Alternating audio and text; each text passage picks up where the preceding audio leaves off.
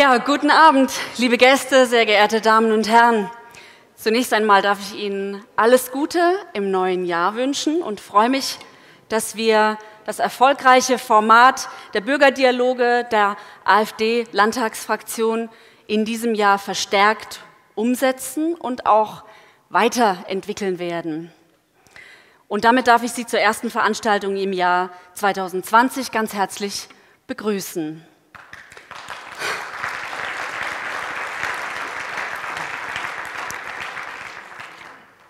Mein Name ist Christiane Christen und ich habe die große Freude, Sie durch diesen Abend führen zu dürfen.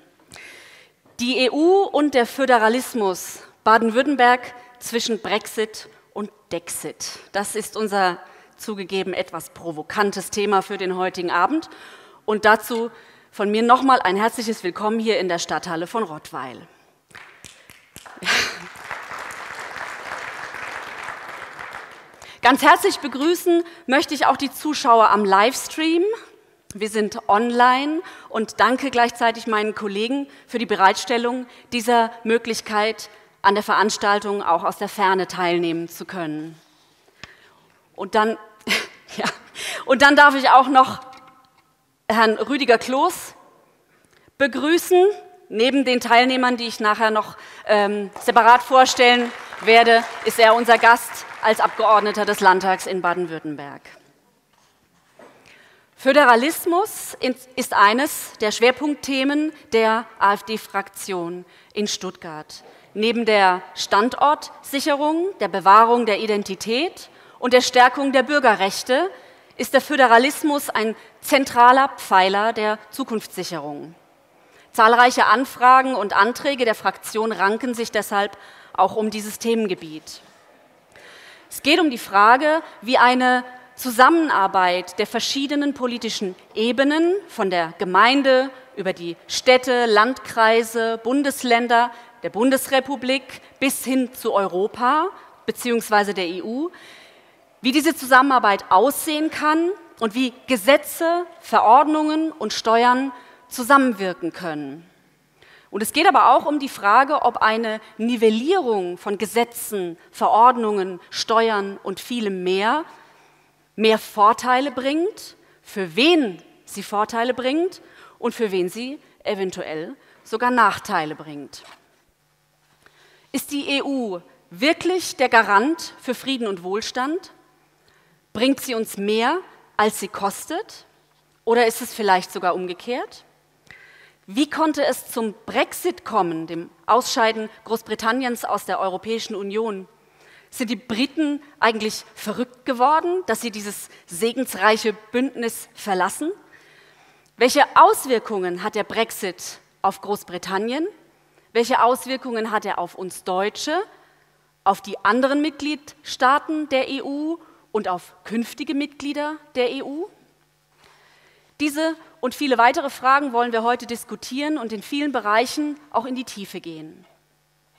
Wenn Sie sich daran gerne beteiligen möchten, also eine Frage an einen unserer Gäste stellen möchten, dann dürfte ich Sie bitten, da drüben an dem Tisch solch eine Karte auszufüllen. Da schreiben Sie Ihre Meinung oder Ihre Frage einfach drauf und werfen sie in diese schicke graue Box und ich werde die passenden Fragen dann zugeleitet bekommen.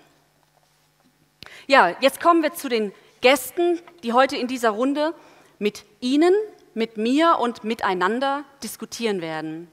Wir haben AfD-Parlamentarier aus drei politischen Ebenen eingeladen, dem Landtag Baden-Württemberg, dem Bundestag und dem Europäischen Parlament, die sich jetzt nacheinander mit Kurzvorträgen bei Ihnen vorstellen werden. Und den Anfang macht der Gastgeber des heutigen Abends, Emil Senze. Herr Senze ist Abgeordneter im Stuttgarter Landtag und kommt hier aus dem Wahlkreis Rottweil. Er hat in Betriebswirtschaft promoviert und war viele Jahre in der Finanzwirtschaft tätig. Heute ist er für die AfD-Fraktion in Stuttgart Mitglied im Ausschuss für Finanzen und Arbeitskreissprecher im Ausschuss Europa und Internationales. Herr Senze, bitteschön. schön.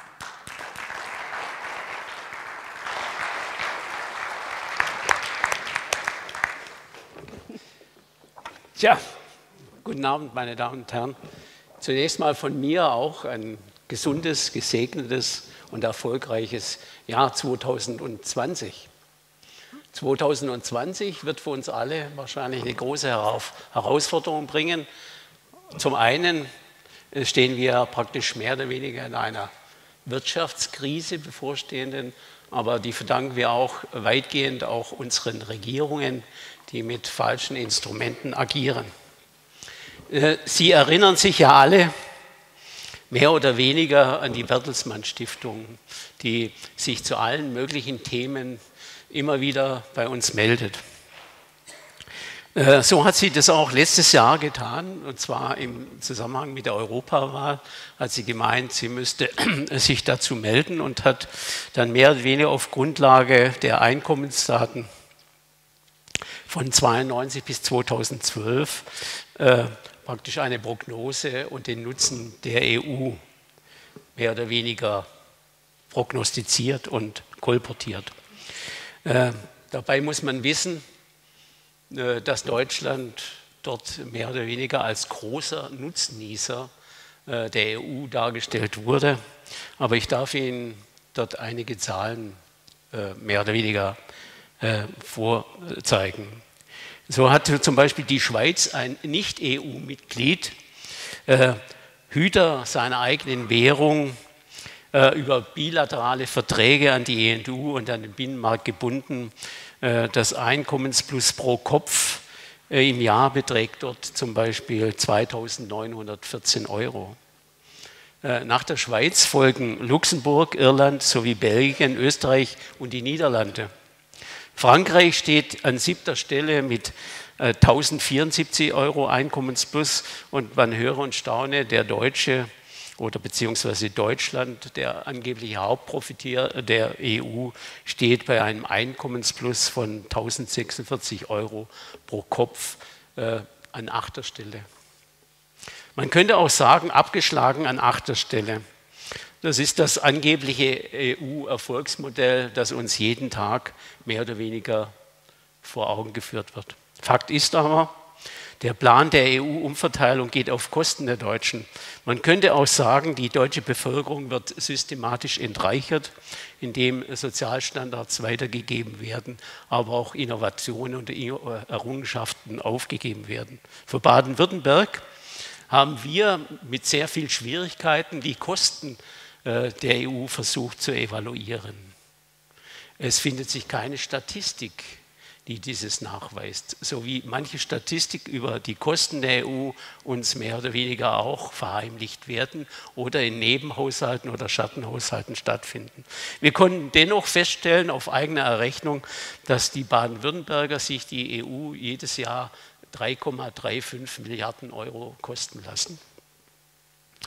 Das wurde natürlich im Parlament sofort äh, mehr oder weniger unter der Tatsache äh, verneint, dass das nicht stimmen könnte. Es gäbe ja keine Zahlen, aber schmallippig musste dann unser Europaminister Wolf zugeben.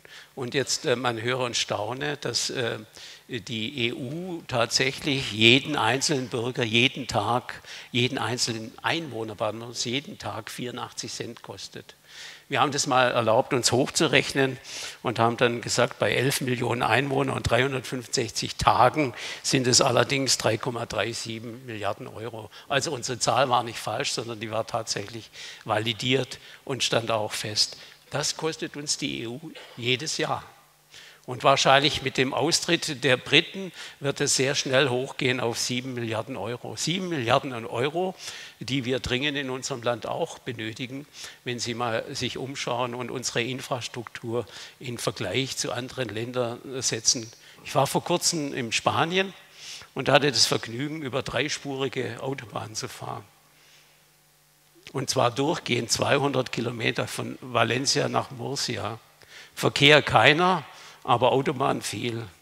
Ich denke, es wäre auch schön und angebracht, wenn wir die A81 auch mit dreispurigen Autobahnen äh, versehen könnte, um äh, äh, abzusichern, dass wir überhaupt noch wirtschaftlich in der Lage sind.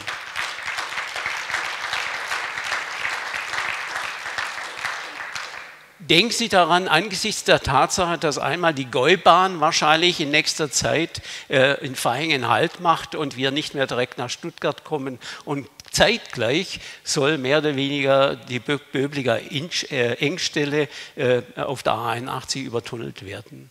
Wir wissen auch davon, dass es marode Brücken gibt zwischen äh, Horb und äh, äh, Villingen. Also es ist nicht auszudenken, wie unsere Wirtschaft leiden könnte, wenn wir nicht in der Lage wären, diese zu sanieren. Aber kehren wir zurück zum angeblichen Nutzen und schauen wir uns durchschnittliche jährliche Zuwachsraten des BIPs an, und zwar von 72 bis 92. Diese betrug, der jährliche Wachstum betrug damals 2,7 Prozent pro Jahr, noch vor dem Euro. Die durchschnittliche Zuwachsrate des deutschen BIPs, also des Bruttoinlandsproduktes, von 93 bis 2013 betrug dann gerade mal 1,4 Prozent. Da fragt man sich doch als geneigter Zuhörer, wo ist denn der Nutzen für die Deutschen? Nur das Friedensprojekt, unter dem die EU uns immer wieder verkauft wird, oder sollten wir auch einen direkten Nutzen haben, indem wir äh, den auch einfordern und wieder das Geld in unser Land zurückholen. Also das Erfolgsmodell äh, EU scheint unter den objektiven Zahlen ganz anders auszusehen, als äh, der tatsächliche Nutzen dann tatsächlich hier auch eintritt. Aber diese Zahlen werden verheimlicht, diese Zahlen werden nicht offen kolportiert, die Zahlen werden nicht diskutiert und jedes Mal, wenn Sie eine Nutzenargumentation beginnen, so ist es mir auch persönlich im Landtag passiert, werden Sie reduziert, Sie sind ein Feind dieser EU. Nein, wir sind kein Feind dieser EU. Wir wollen die EU wieder zurückentwickeln auf das Niveau, wo sie hingehört. Sie soll das regulieren, was wir auf regionaler Ebene nicht können. Wir wollen wieder ein wirklich föderaler Staat sein und nicht gebunden sein an Anweisungen und Direktiven aus der EU.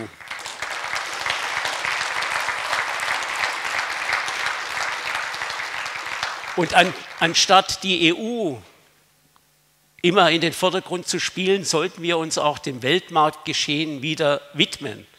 Denn wenn wir uns aus den Weltmärkten herausnehmen und nicht mehr mit Innovationen, die uns so erfolgreich gemacht haben, unsere Unternehmen zwingen dazu, dass sie sich dem Weltmarkt stellen, werden wir auch unbedeutend werden und zwar schneller als wir denken und wir erleben das auch und da bin ich schon gespannt auf den Kollegen Spaliel in der Automobilbranche, wo die Einbrüche spürbar jetzt auch hier vor Ort zu finden sind. Denken Sie nur an den Verbrennungsmotor.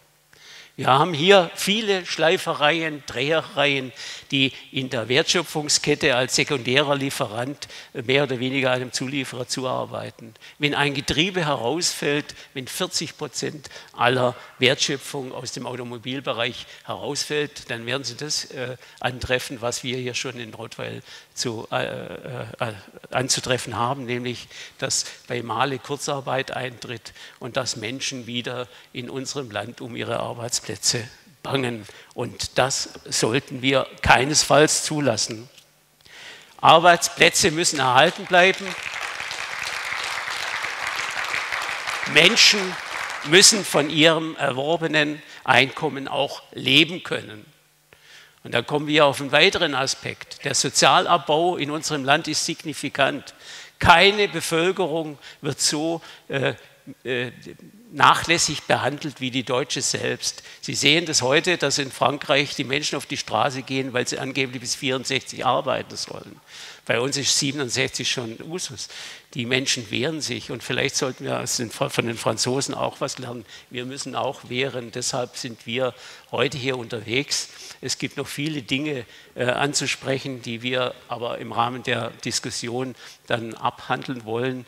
Denken Sie an das Ausbluten unserer Regionalität, unserer Wirtschaft vor Ort.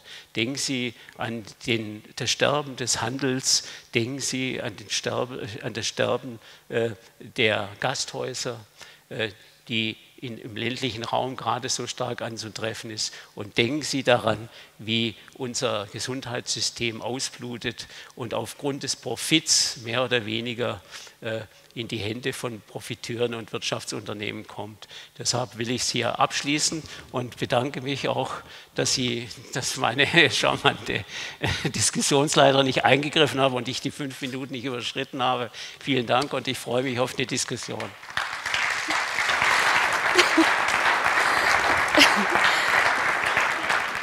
Ja, vielen Dank, Emil Senze.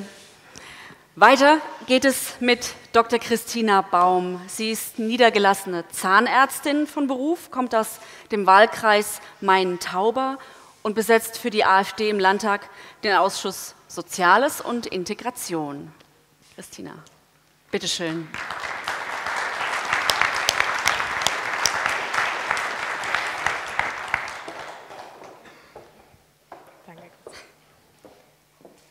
Ja, guten Abend, meine Damen und Herren, liebe Mitglieder, liebe Gäste. Ich freue mich, heute Abend wieder in dieser wunderschönen Halle sein zu dürfen. Ich war schon mal da. Es war damals ein Erlebnis und ich denke, es wird heute Abend auch wieder ein Erlebnis sein. Bevor ich mit dem eigentlichen Thema beginne, möchte ich Ihnen kurz von einem Gespräch berichten, das ich vor zwei Tagen mit zwei Redakteuren führte, mit einer, einem Redakteur des SWR und einer Redakteurin des NDR. Es ging um etwas ganz anderes, aber automatisch kamen wir natürlich auf die momentane Demonstration oder die äh, vergangene Demonstration in Baden-Baden zu sprechen, die ja auch äh, von der AfD angeführt wurde. Es geht, wie Sie alle wissen, um diesen Skandal der Nazi-Omas, der Nazi-Säue und der Umweltsäue. Das war letzten Endes dann ähm, das Hauptthema unseres Gespräches. Und äh, die Redakteure haben sich sehr darüber aufgeregt, dass eben die Redner dort so eine radikale Sprache hatten und eine radikale Wortwahl und wir, so hat man auch mir vorgehalten, wären doch diejenigen, die spalten würden. Wir würden die Gesellschaft spalten, denn das habe ich den Redakteuren vorgehalten. Ich sage, äh, wenn Sie mit Ihrer nicht neutralen Berichterstattung immer weiter einen Keil in die Gesellschaft hineintreiben, wie sollen wir jemals diese Gesellschaft wieder zusammenführen? Und da, wie gesagt, kam die Retourkutsche und äh, man erklärte mir, wir seien doch die Spalter. Und das ist ähm, natürlich ein, ein Vorwurf, den man nicht im Raum stehen lassen kann. Und ich habe dann auch geantwortet, wir sind nicht die Spalter, sondern wir vertreten die Wähler, die in der Politik oder von der Politik nicht mehr gehört werden. Wir vertreten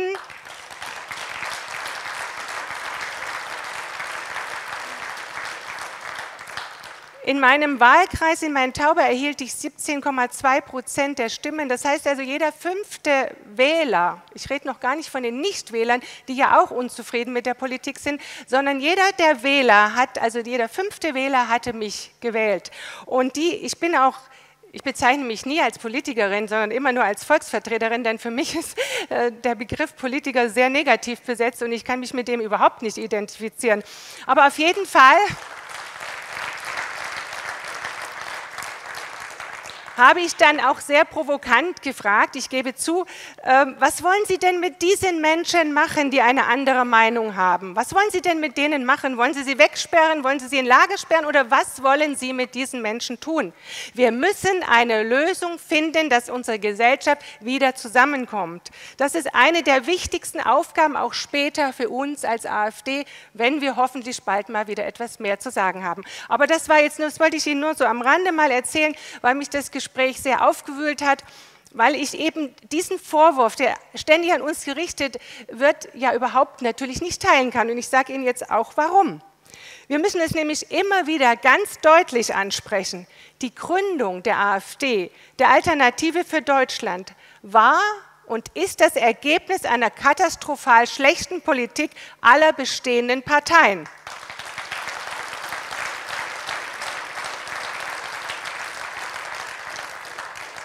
Ein Korrektiv dazu war geradezu zu einer historischen Notwendigkeit geworden. Die neu gegründete AfD hatte sich von Anfang an auf die Fahnen geschrieben, ohne Tabus alle wichtigen gesellschaftlichen Themen zu diskutieren. Im Gründungsprogramm, was die meisten wahrscheinlich gar nicht mehr kennen, stand dazu wörtlich, ich zitiere, wir setzen uns dafür ein, dass auch unkonventionelle Meinungen im öffentlichen Diskurs ergebnisoffen diskutiert werden, solange die Meinungen nicht gegen die Werte des Grundgesetzes verstoßen. Zitat Ende.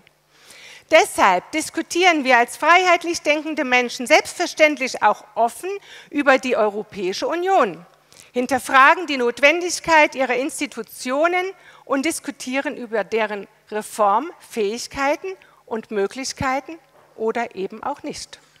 Für viele Menschen, insbesondere Altparteienpolitiker, ist diese gedankliche Offenheit, die wir uns bewahrt haben, aber schon so etwas wie Ketzerei.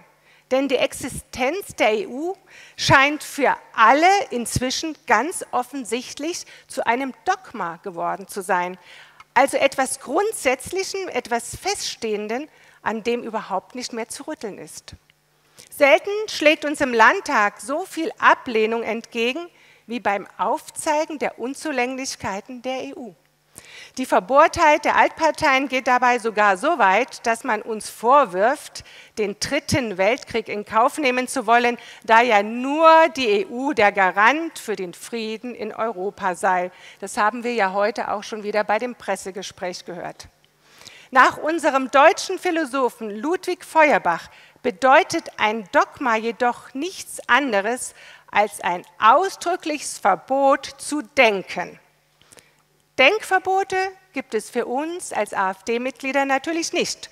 Und deshalb nehme ich heute auch an dieser Veranstaltung teil und begehe die Ketzerei und wage es, öffentlich zu fragen, wer diese EU eigentlich überhaupt braucht und ob es uns ohne sie nicht vielleicht sogar besser ginge.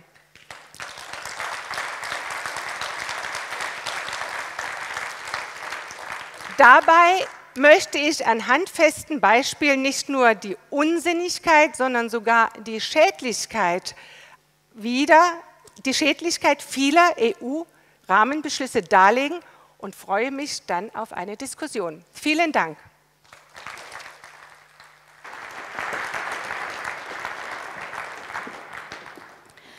Vielen Dank, Dr. Christina Baum.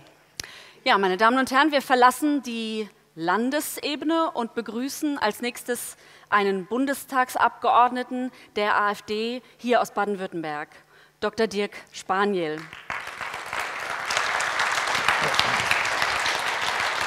Du darfst gern schon hochkommen, wenn ich dich auch zu Ende vorstellen darf. Ja, klar.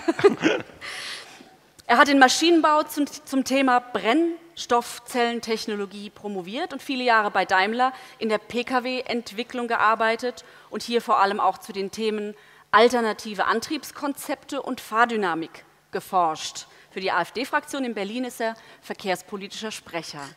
Bitte schön. Ja. ja, vielen Dank.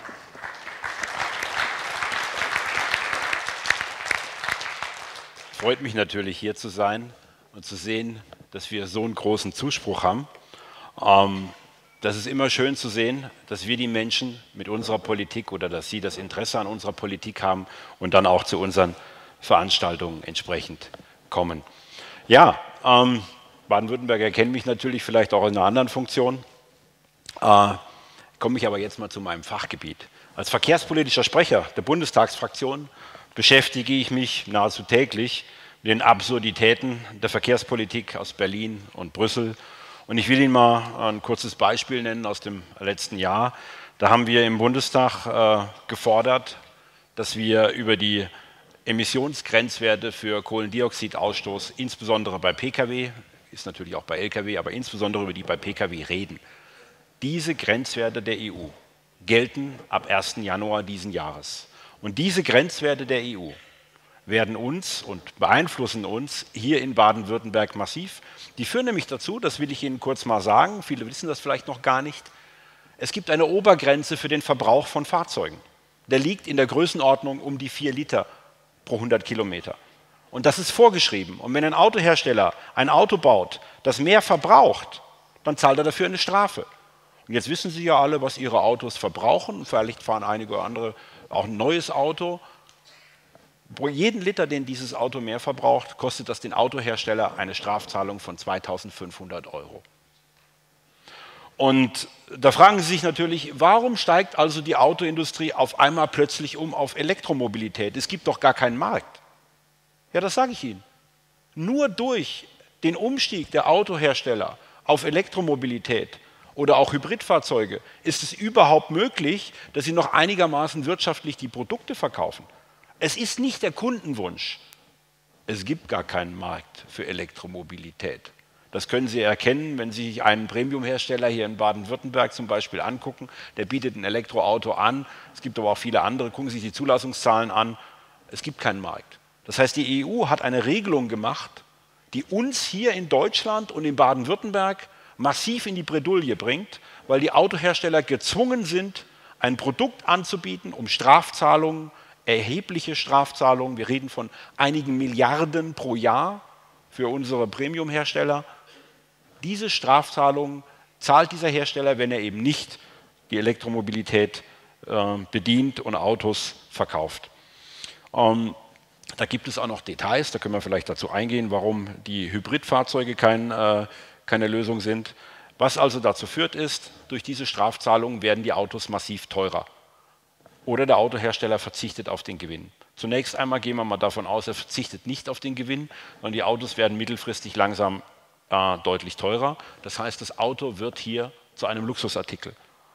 Und dieser Luxusartikel führt dazu, dass nur noch unabhängig von den Mitarbeitern in der Autoindustrie und den Angehörigen alle betroffen sein werden, weil sie sich etwas Selbstverständliches, etwas für uns heute Selbstverständliches, nämlich die bezahlbare Mobilität, auf einmal nicht mehr leisten können. Ich sage das mal ganz simpel, wer sich heute eine E-Klasse leisten kann, der wird sich mit der neuen Gesetzgebung mittelfristig eine C-Klasse leisten können. Wer sich heute eine C-Klasse leisten kann, der wird sich eine A-Klasse leisten können.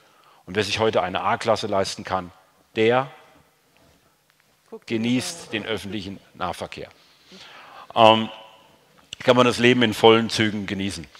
Ähm, ich will Ihnen noch kurz erklären, warum das so zentral ist, die Umstellung auf Elektromobilität. Selbst wenn sie funktionieren würde und die Autohersteller Elektroautos anbieten würden und die Kunden sie kaufen würden, ist fatal für Baden-Württemberg. Ein einfaches Beispiel. Die Wertschöpfung eines produzierten Elektrofahrzeuges ist zu einem großen Teil nicht mehr in Deutschland. Das liegt daran, dass die Batterien automatisiert vorwiegend im Ausland gebaut werden oder eben die Rohstoffe zu großen Teilen äh, importiert werden. Wir reden da, Emil, du hast es gesagt, wir reden da von Größenordnung 20, 30 Prozent des Fahrzeugwertes. Diese Wertschöpfung entfällt in Baden-Württemberg.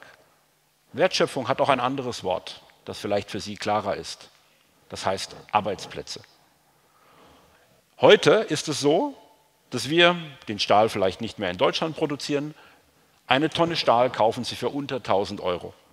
Aus dieser Tonne Stahl machen Sie fünf Motoren, mal so über den Daumen gepeilt. Diese verkaufen sie für intern ungefähr 20.000 Euro, vielleicht mehr. Und von diesen 19.000 Euro, diese 19.000 Euro sind Wertschöpfung in Deutschland. Und davon lebt dieses Land. Und genau das fällt weg, wenn Sie auf Elektromobilität umstellen. Und das ist auch das, was Sie hier erleben, dass viele Zulieferbetriebe die sich eben jetzt nicht mehr in dieser Wertschöpfungskette befinden oder zukünftig nicht mehr in der Wertschöpfungskette befinden, weil die Autohersteller umstellen müssen aufgrund der Politik, dass diese Zulieferbetriebe hier in Baden-Württemberg ihre Investitionen ins Ausland verlagern oder einfach dicht machen müssen. Und das ist eine Politik, eine, es ist keine konjunkturelle Schwankung, es ist auch nicht ein Fortschritt. Es geht ja nicht darum, dass sich hier eine Technologie durchgesetzt hat, die wettbewerbsfähig wäre. Es ist eine politische Entscheidung in Europa getroffen, die uns in unserem alltäglichen Leben massiv beeinflussen wird und auch heute schon beeinflusst. Und das ist eine Politik, die wir nicht wollen. Wir stehen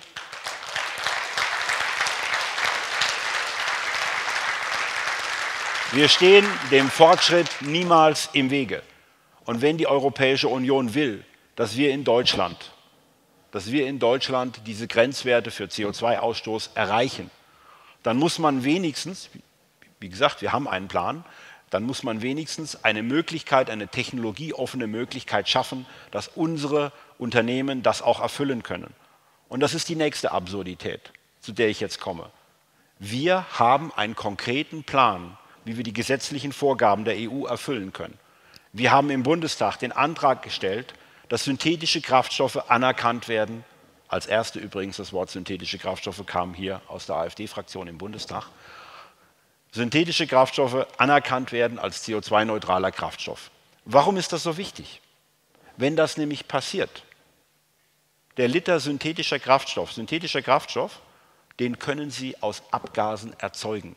Der wird aus CO2 hergestellt. Und wenn Sie den verbrennen, entsteht zwar wieder CO2, aber insgesamt fahren Sie das CO2 im Kreis. Das heißt, es kommt kein neues dazu. Man könnte sagen, es ist das Ei des Kolumbus. Ist es tatsächlich? Jetzt gibt es Leute, die behaupten, die kosten vier bis fünf Euro und würgen damit die Diskussion ab. Wissen Sie, was CO2-neutraler Kraftstoff kostet? Der kostet 10 Prozent mehr als mineralölbasierter Kraftstoff. Das ist ein Fakt. Den können Sie kaufen. Der Flughafen Stuttgart betreibt einen Teil des Fuhrparks damit. Das heißt, die Entscheidung, diese Kraftstoffe nicht als CO2-neutral anzuerkennen, ist eine politisch völlig unsinnige Entscheidung. Und sie kommt aus Europa und sie wird unterstützt von unseren Politikern. Und das heißt, es geht hier nicht darum, das Klima zu retten, wenn man das überhaupt kann durch CO2-Einsparung. Es geht auch nicht darum, CO2 einzusparen. Ich habe Ihnen das ja gerade gesagt. Es geht darum, durch eine politische Entscheidung die Menschen in Elektromobilität reinzuzwingen. Und das ist eine Politik, die wir nicht in keinster Weise unterstützen und wir massiv bekämpfen werden.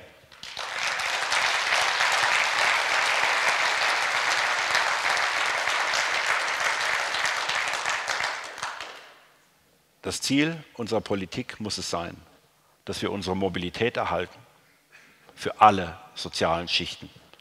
Und das Ziel muss es auch sein, dass wir hier in Baden-Württemberg unseren Wirtschaftsstandort erhalten. Wir haben es geschafft, in den letzten 150 Jahren hier einen der stärksten und ich muss auch sagen, einen der schönsten Wirtschaftsstandorte der Welt zu schaffen. Und es kann nicht sein. Ja, da können wir auch mal klatschen. Und es kann nicht sein, dass das, was die Generationen vor uns erschaffen haben, durch einen Federstreich oder eine ideologische Vorstellung aus Europa, getragen von unseren Politikern, man muss sagen von Regierungspolitikern, nicht von dir, kommen wir ja gleich dazu, dass diese Entscheidung in Europa gefällt wird zu Lasten unseres tatsächlichen Lebens und unseres Alltags hier in Baden-Württemberg. Wir wollen die Politik auf die regionale Ebene verlagern. Entscheidungen müssen da gefällt werden, wo sie die Menschen betreffen, auf der niedrigstmöglichen regionalen Ebene. Und dafür treten wir ein, dafür trete ich ein und ich freue mich auf die Diskussion heute Abend. Vielen Dank. Bitte nimm Platz. Ja, bitte. Genau. Ja, vielen Dank, Dr. Dirk Spaniel. Ähm, die nächste Rednerin, die ich Ihnen gerne ankündigen würde, ist Christine Andersson, aber sie lässt sich entschuldigen, krankheitsbedingt. Wir senden ihr von hier beste Genesungswünsche. So, meine Damen und Herren, und damit komplettiert Dr. Maximilian Krah unsere Runde für die Diskussion heute Abend. Er ist Rechtswissenschaftler und Rechtsanwalt aus Dresden. Im vergangenen Mai 2019 wurde er für die AfD ins Europäische Parlament gewählt und ist dort Teil der elfköpfigen AfD-Delegation in der Fraktion Identität und Demokratie.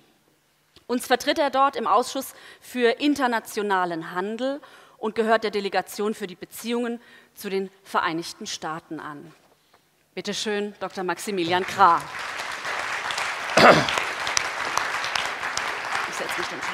Ja, vielen Dank, meine Damen und Herren. Ich freue mich sehr, hier in Rottweil zu sein, im großen Landesverband Baden-Württemberg. Sie wissen, Baden-Württemberg ist mittlerweile so etwas wie das industrielle Herz Deutschlands. Und deshalb sind Sie natürlich im ganz besonderen Maße mit dieser EU und ihren Beziehungen, die sie mit anderen Staaten hat, abhängig. Sie wissen, die deutsche Industrie ist sehr stark exportabhängig und natürlich ist Europa unser wichtigster Absatzmarkt. Und das ist eines der Argumente, das Ihnen entgegengehalten wird, wenn es um die Frage geht, brauchen wir die EU, warum ist sie für uns so wichtig? Das Gegenargument, das ich Ihnen immer stellen muss, ist, wenn Sie jetzt in die Schweiz fahren, wenn Sie vor zehn Jahren in die Schweiz gefahren sind, dann merken Sie, dass etwas nicht stimmt. Obwohl Sie sehr viel arbeiten, obwohl Sie etwas produzieren, wird der Urlaub in der Schweiz immer teurer und letztlich unmöglich. Das heißt, offensichtlich kommt von dem, was Sie produzieren, von dem, was Sie exportieren, sehr wenig bei Ihnen an. Und es sind genau diese praktischen Fragen, die dazu führen, dass man in Zweifel zieht, was uns erzählt wird. In Stuttgart, ihrer Landeshauptstadt, gibt es mittlerweile Fahrverbote für Autos, in der Regel für Autos, die sie herstellen hier in ihrem schönen Bundesland. Und jetzt überlegen Sie sich, wie Sie diese Fahrverbote abschaffen können, wenn Sie mit ihnen nicht einverstanden sind. Die Stuttgarter selbst können es nicht. Das Volk in Baden-Württemberg kann es nicht.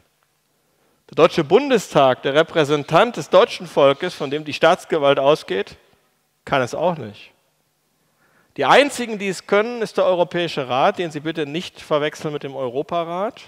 So viel zur Transparenz der europäischen Institutionen, die man nicht auseinanderhalten kann.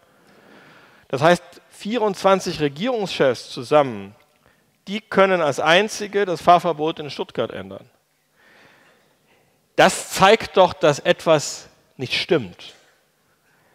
Wenn man über eine lokale Frage nicht als Volk abstimmen kann, nicht als, als Demos, als Souverän, sondern wenn man 24 Regierungschefs dazu braucht. Und wenn Sie das weiternehmen, dann schauen Sie sich an, was aus uns, aus uns exportieren und tören wird. Natürlich exportiert Deutschland extrem viel, weil der Euro so schwach ist. Aber meine Damen und Herren, der Euro ist deshalb schwach, weil Sie wenig verdienen. Schauen Sie sich die Reallöhne an. Sie sind sehr niedrig und wenn Sie sich sie in Schweizer Franken und US-Dollar anschauen, dann wachsen sie nicht. Sie arbeiten viel, die Exportindustrie exportiert noch viel, bis dann endlich die EU dank CO2-Vorgaben es geschafft haben wird, auch damit ein Ende zu setzen. Aber die einzigen, die davon profitieren, sind eben die Anteilseigner der großen DAX-Unternehmen. Und das sind selten Sie, sondern das sind in der Regel Großbanken und internationale Investoren, unter anderem BlackRock und derjenige, der denen den Markt aufgeschlossen hat, der verkauft sich gerade als bürgerlicher Hoffnungsträger. Auch hier Trauschau wem. Ein einfacher Blick auf Ihr Kontoauszug, auf Ihre Entwicklung und auf Ihre Kaufkraft 200 Kilometer südlich in Zürich sollte Ihnen zeigen, dass etwas nicht so läuft, wie es laufen soll.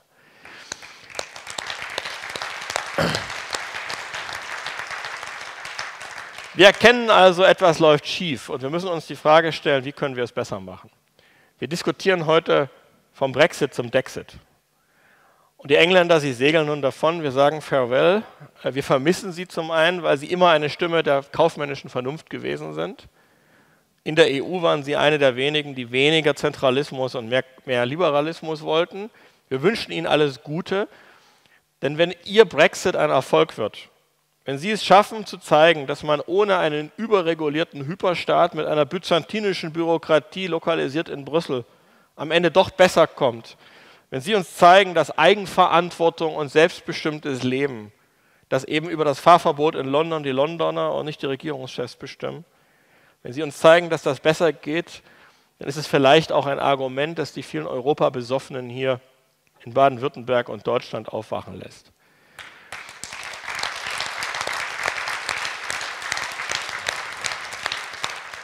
Entscheidend aber ist, dass wir uns auch klar machen, dass das, was die Engländer können, für uns schwerer ist. Wenn sie am Rande Europas auf einer Insel sitzen, wenn sie den Commonwealth als historischen Referenzrahmen haben und eine besondere Beziehung zu den USA pflegen, dann ist es leicht, Goodbye zu sagen. Wenn Sie aber als Exportnation in der Mitte Ihres Absatzmarktes sitzen und Sie würden unilateral sagen, wir gehen und die anderen bleiben alle drin, dann wird das ein sehr teures und ein sehr erfolgloses Spektakel. Wir sind also gefangen und wir müssen uns schauen, was sagen die, die um uns herum sitzen. Und ich kann Ihnen die gute Botschaft bringen, die leiden alle genauso wie Sie. Als ich nach Brüssel kam, dachte ich, letztlich ist es so, wir in Deutschland zahlen drauf und die anderen profitieren. Gibt Argumente, wo das so ist. Aber bisweilen ist es eben so, wir zahlen drauf und die anderen zahlen auch drauf. Und das, was wir erleben, ist weniger eine Umverteilung von Deutschland nach Italien, nach Spanien, nach Frankreich, sondern es ist eine große Umverteilung von unten nach oben.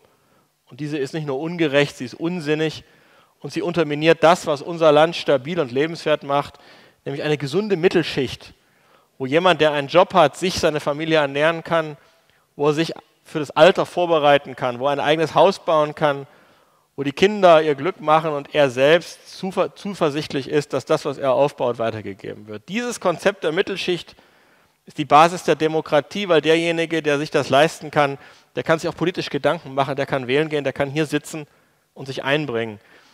Aber wenn die ökonomische Grundlage verloren geht, weil er nur noch arbeitet, damit exportiert wird, ohne dass seine Löhne steigen, wenn er nicht mehr reisen kann, weil überall anders die, die Löhne steigen, aber seine Währung nicht mitzieht, dann geht diese Mittelschicht kaputt und dann geht unsere Demokratie kaputt. Und deshalb gibt es auch eine ökonomische Basis, um die wir uns kümmern müssen, nämlich dass Sie endlich für die Arbeit, die Sie leisten, wieder genau so partizipieren und Ihr Einkommen steigt, dass der Schweizer nicht auf Sie herabblickt und uns als Billigland nimmt, wo er billig einkaufen kann, sondern dass wir auf Augenhöhe wechselseitig uns besuchen und der Urlaub in der Schweiz für uns genauso erschwinglich ist wie der Urlaub für den Schweizer in Baden-Württemberg. All das sind Probleme, die uns vereinen und die etwas damit zu tun haben, dass eine Zentrale völlig losgelöst von ihnen sich immer weiter reinsteigert in ihren Wunsch, alle Macht an sich zu ziehen. In, in, Nigel Farage hat mal zum Europaparlament gesagt, die wenigsten von Ihnen haben jemals einen echten Job gehabt und Arbeitsplätze geschaffen. Meine Damen und Herren, gucken Sie sich bitte das Bundeskabinett an und überlegen Sie sich, wer von denen im ersten Arbeitsmarkt vermittelbar wäre. Wir, wir haben mittlerweile eine von den realen Problemen, den realen Nöten und der realen Ausbildung und dem Leben entkoppelte Elite. Und wenn diese dann noch im Ausland ist, in Brüssel und Straßburg, dann haben sie einen Punkt erreicht, wo die nicht mehr an sie denken, sondern wo sie sich nur noch ach Sachwalter irgendwelcher übergeordneten Werte, Prinzipien, Ideen und Hirngespinste verstehen. Und das ist genau diese Umverteilung von Macht, von Geld, von Lebenschance, von Glück und von Bedeutung von ihnen weg hin zu irgendwelchen Leuten, die sie nicht kennen, die sie nicht mögen, aber die sie trotzdem regieren. Und das drehen wir um. Wir brauchen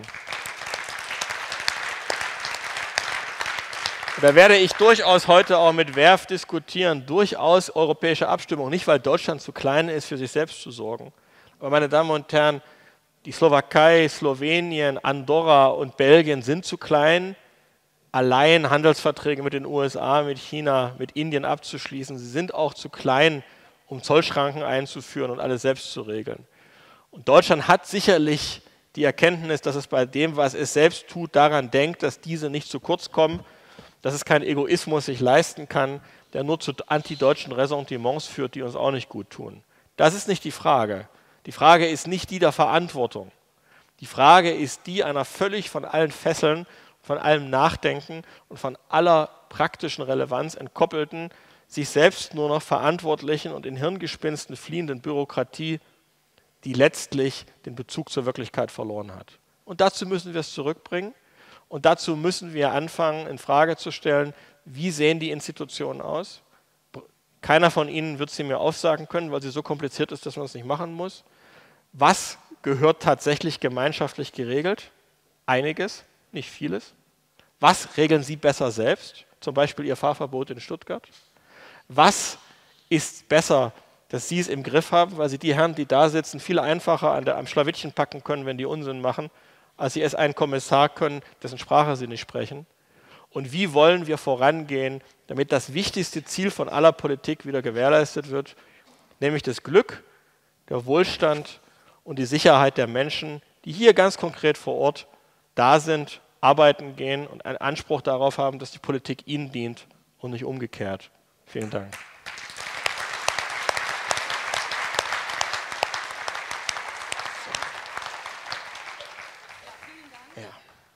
Vielen Dank, Maximilian Krah. Und jetzt ist die Runde komplett. Meine Damen und Herren, viele Themen sind jetzt schon angerissen worden in der ersten Dreiviertelstunde. Und wir werden jetzt noch Gelegenheit haben, einzelne Bereiche genauer unter die Lupe zu nehmen und noch viele, viele Fragen beantwortet zu bekommen. Ja, vier Politiker, die ohne weiteres im ersten Arbeitsmarkt vermittelbar wären, sehe ich hier oben. Eine, die noch aktiv arbeitet und zwischendrin ich. und äh, lassen Sie uns gemeinsam den, den Abend beginnen. Die EU wird ja, wie ich es vorhin schon gesagt habe, als Garant für Frieden und Wohlstand dargestellt. Christina Baum, meine erste Frage möchte ich an dich richten. Ähm, ich habe mal von dir gehört, dass im Landtag die Abgeordneten anderer Fraktionen euch vorwerfen, mit eurer Kritik, mit eurer Kritik an der EU den Dritten Weltkrieg in Kauf zu nehmen.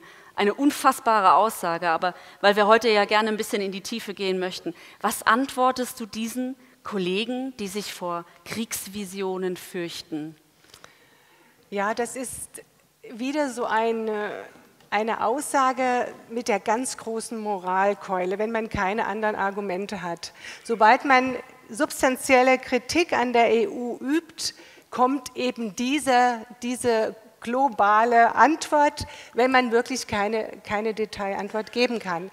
Ich meine, dass die EU-Gründung die Grundlage oder beziehungsweise die Idee nach zwei verheerenden Weltkriegen daraus entstand, dass endlich auf äh, europäischen Boden Frieden herrschen soll. Das ist äh, sicherlich eine sehr gute Idee gewesen. Und ich glaube, es gibt hier in diesem Raum niemanden, der der wieder einen Krieg möchte. Also wir sind uns wohl alle darin einig. Das hat nichts mit Parteizugehörigkeit zu tun, sondern jeder normale Mensch möchte einfach nur ein friedliches Leben führen. Also sowas dann als Argument zu bringen, wenn man die EU als Institution, diese große, große Einrichtung als Institution ablehnt, damit einen Krieg herbeiführen zu wollen oder sowas überhaupt in Gedanken zu führen, das ist natürlich irrwitzig. Das kann man überhaupt nicht äh, verstehen. Und die Anfangsidee, die EU stammt ja, die äh, Europäische Wirtschaftsgemeinschaft war ja die erste Stufe, die entstand ja in den 50er Jahren. Und das war ja auch eine sinnvolle Idee. Dieser Freihandel, diese Öffnung, äh, die nicht mehr vorhandenen Zölle hat ja zu einem enormen wirtschaftlichen Wachstum geführt. Und das darf man und soll man ja auch weiter beibehalten. Das wollen wir ja auch. Wir wollen ja das auch, dass die Wirtschaft blüht und so weiter. Aber wir wissen alle, es gibt ja auch innerhalb, es gibt ja auch in Europa Länder, die nicht in der EU sind, auch heute mhm. schon. Ja? Mhm. Und deswegen kann man nicht pauschal sagen, die EU ist der Garant. Die Idee war gut der Gründung und ist aber letzten Endes inzwischen so, also die Entwicklung der EU, der, der Institution der Europäischen Union, ist ja in eine ganz andere Richtung gegangen. Sie führt ja dazu, dass es immer mehr eine Vereinheitlichung gibt in allen Prozessen und dass immer mehr eine Vergemeinschaftung stattfindet und eben dieser nationale Charakter der einzelnen Staaten überhaupt nicht mehr zum Tragen kommt. Über viel Vereinheitlichung ja. und Verordnungen und Normen und so weiter werden wir später auch noch sprechen. Ähm, die EU in ihrer heutigen Form gibt es seit 2009. Da wurden dem, äh, dem Parlament mehr Kompetenzen eingeräumt. Noch eine Frage an dich, Christina. Bist du vorher auch durch Europa gereist. Und war das ein anderes Europa als heute? Ja, also da gibt es natürlich zwei Abschnitte in meinem Leben. Wie die meisten wissen, ich komme ja aus der DDR. Da war unsere Reisefreiheit sehr begrenzt. Ich konnte mit Visum maximal bis nach Rumänien und Bulgarien reisen, was ich dann teilweise auch getan habe. Aber als ich dann 1989 hier in den Westen kam, sage ich immer noch, das war vor dem Fall der Mauer, habe ich diese Reisefreiheit ja geradezu genossen. Ich werde mich ich werde es nie vergessen, als ich das erste Mal mit meinem Mann eben nach Österreich gereist bin. Und wir kamen an den Grenzübergang und man brauchte nur seinen Ausweis vorzuzeigen. Das war für mich ein, ein, so ein Gefühl der Freiheit, das kann sich gar niemand vorstellen, der nicht vorher in, der, in, einem Gefängnis wie der DDR gelebt hat. Das war für mich wirklich ein, ein richtiges befreiendes Gefühl, dass ich endlich auch reisen konnte. Das war ja auch ein, ein, für viele ein Grund in der DDR zu sagen, also dieses System mit dieser wirklich mit diesen Gefängnisstrukturen nach innen gerichtet, ja, mhm. äh, wollen wir nicht mehr. Mhm. Also wie gesagt, diese, um die Frage zu beantworten, diese Reisefreiheit haben wir natürlich auch vorher schon gehabt. Im Westen, das muss ich dazu sagen. Ja, ja.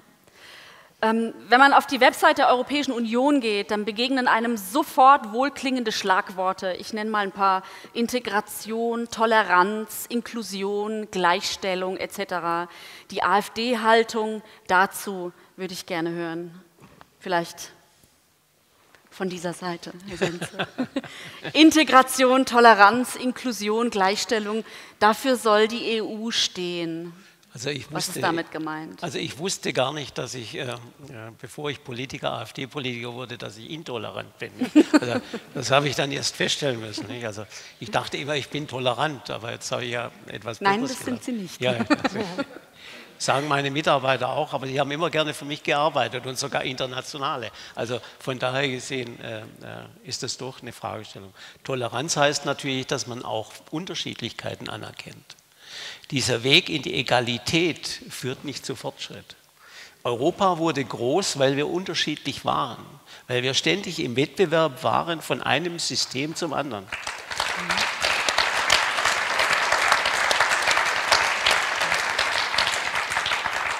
Schauen Sie, wir waren zum Beispiel als Deutschland nie der Innovationshotspot von Beginn, sondern wir haben auch, äh, sagen wir mal, abgekupfert von den Briten. Und wir haben deren Produkte besser gemacht. Wir haben ein Bildungssystem gehabt, das war noch geprägt von Frontalunterricht und Pauken. Das hat man jetzt aufgelöst. Ob das zum Vorteil dieses Staates war, das wage ich zu bezweifeln. Äh, wir haben Fremde immer bei uns eine Heimat gegeben. Und ich denke nur an die ganzen hugenottischen Dörfer, die es hier im Nordschwarzwald auch noch gibt. Die haben eine Heimat bekommen. Aber was wir nie wollten, war, dass wir von anderen äh, Ethnien dominiert werden. Das wollten wir nie. Und wenn man Toleranz in diesem Sinne versteht, dann sind wir allesamt noch tolerant. Das ist nur eine Frage äh, der Masse. Und Toleranz äh, gebietet auch, dass der andere Respekt hat vor einem. Wenn ich eine Elite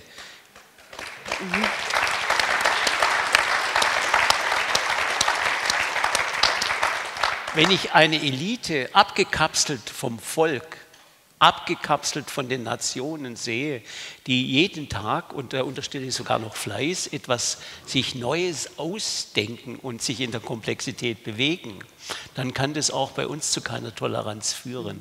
Im Übrigen hatten wir die, nie die Möglichkeit, darüber abzustimmen, ob wir so ein System wollen. Und wir waren.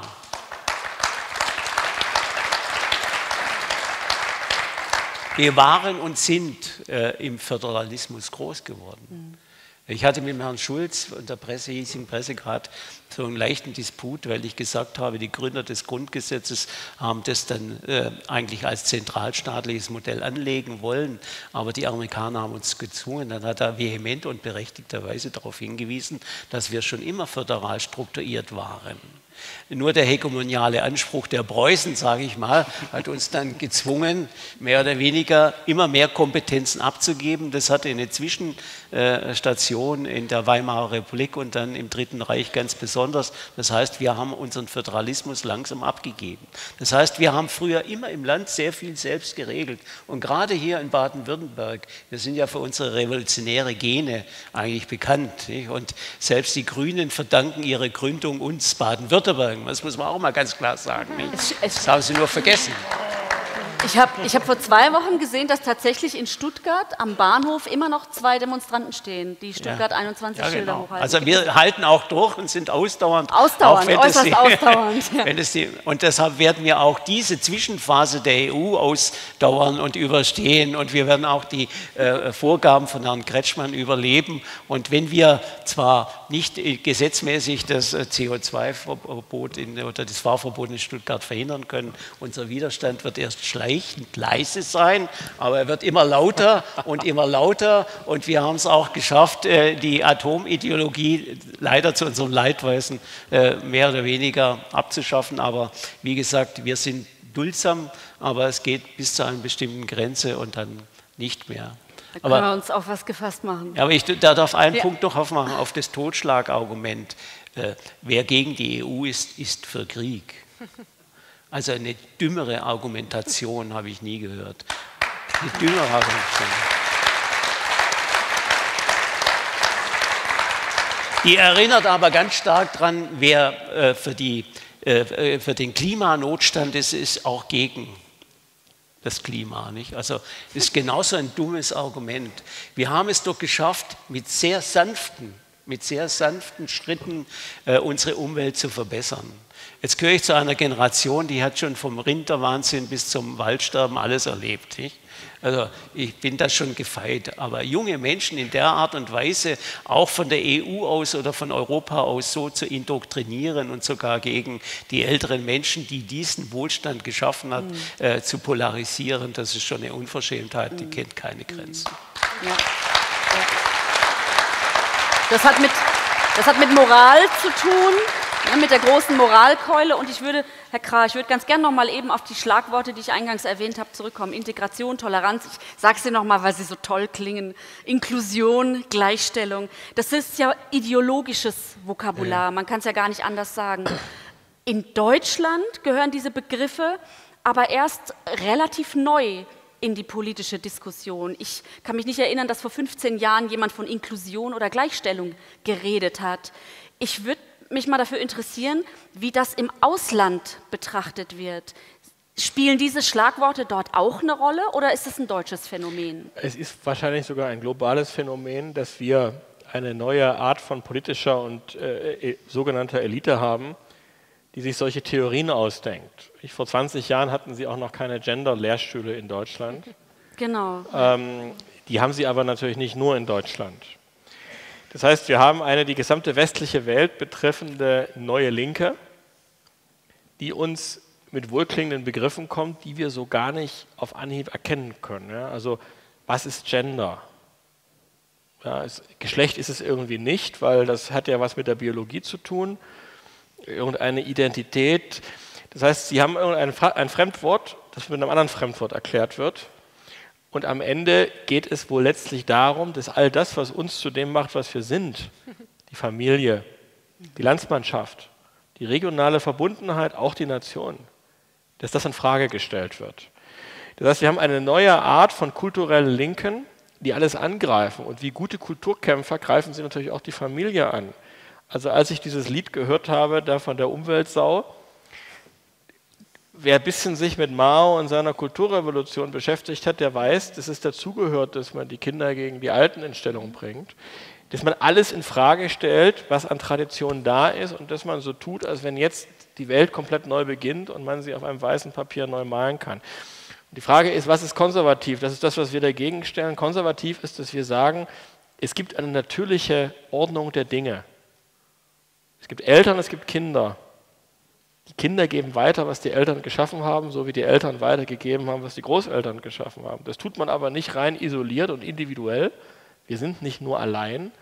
Das tun wir mit unserem Nächsten, der vielleicht in derselben Ortschaft schon gewohnt hat. Wenn Sie sich Ihre Familienalben untereinander zeigen, dann werden Sie nämlich feststellen, dass sie ziemlich ähnlich aussehen. Und Ihre Eltern und Großeltern haben sich auch schon gekannt. Und wenn jemand dazugekommen ist, sei es aus Thüringen oder noch ein paar Jahre davor aus Ostpreußen und Schlesien, dann kann der trotzdem was mit ihnen anfangen. Das heißt also, wir leben nicht nur in der vertikalen, wir leben auch in der horizontalen als eine Landsmannschaft, als ein Volk. Und diese ganzen Institutionen, die zwischen uns als dem völlig losgelösten Einzelnen und der ganzen Menschheit sind, das ist das Natürliche der, der, der Dinge und das ist das, was uns zum Konservativen macht, weil wir das erkennen und schätzen. Und diese linken Kulturkrieger, die jetzt seit 20 Jahren unterwegs sind und die ihnen klar machen wollen, dass also ihre Eltern, ihre Großeltern Umweltsäue sind und dass sie jeden Morgen vor ihrem Spiegel entscheiden können, welches ihrer 50 Geschlechter sie sich jetzt aussuchen, die wollen das alles kaputt machen. Und dazu haben sie sich eine Reihe von Begriffen ausgedacht. Gender, Inklusion, wir kennen sie alle. Das ich alles. könnte mir auch noch fünf dazu ausdenken, die würden Sie gar nicht erkennen, die klingen genauso. Und wir sind in diesem Kulturkampf. Und die Wahrheit ist, weil wir jetzt fragen, wie sehen das die anderen? Leider sind wir in Deutschland nicht besonders gut in der Abwehr. Das heißt, was ich feststelle, ist, dass uns die Franzosen, die Italiener und ganz besonders die Osteuropäer voraus sind, darin, das offen anzusprechen, zu durchdenken und Widerstand zu leisten. Während ich so ein bisschen den Eindruck habe, dass zumindest manche Teile Westdeutschlands oder man könnte sagen, also alles außer Sachsen, ähm,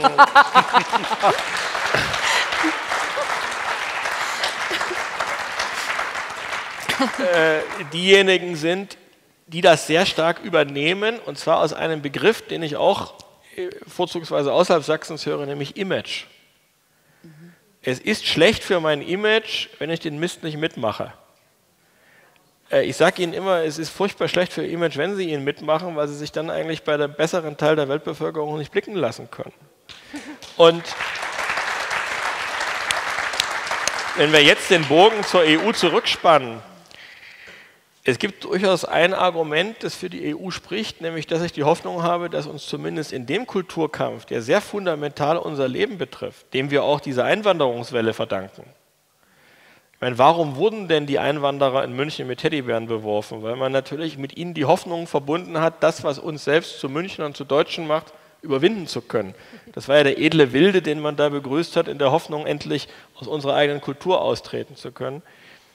Die anderen sind halt ein bisschen heller und zumindest nehmen Sie die Italiener, denen wir ja gern vorwerfen, dass sie sich finanziell ein gutes Leben über den Euro machen, was nicht ganz falsch ist, ja, aber es ist so.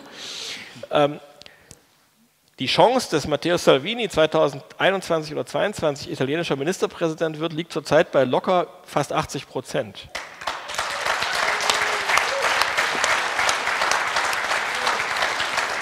Ich würde gern, ich würde gern davon profitieren, was er dann für einen Budenzauber in den europäischen Institutionen veranstalten wird, wenn er es ist, denn auch das habe ich gelernt, so schwer zu diskutieren, wenn Sie überhaupt diskutieren wollen, wie mit den deutschen Kollegen im Europaparlament, ist es mit keinem anderen. Also die ideologische Verbohrtheit, die wir hier in unserem Land haben, die ist in der Tat mit die schlimmste. Und insofern, wir sitzen wir wollen selbst uns verwalten. Wir wollen endlich, dass die Kompetenz über unsere Fahrverbote, unsere Industriestandards, unser Geld wieder bei uns liegt. Aber dass das so wird, weil es besser so ist, das erkennen oft die Nicht-Deutschen besser als zumindest die Deutschen, die zurzeit politisch das Sagen haben. Kann man,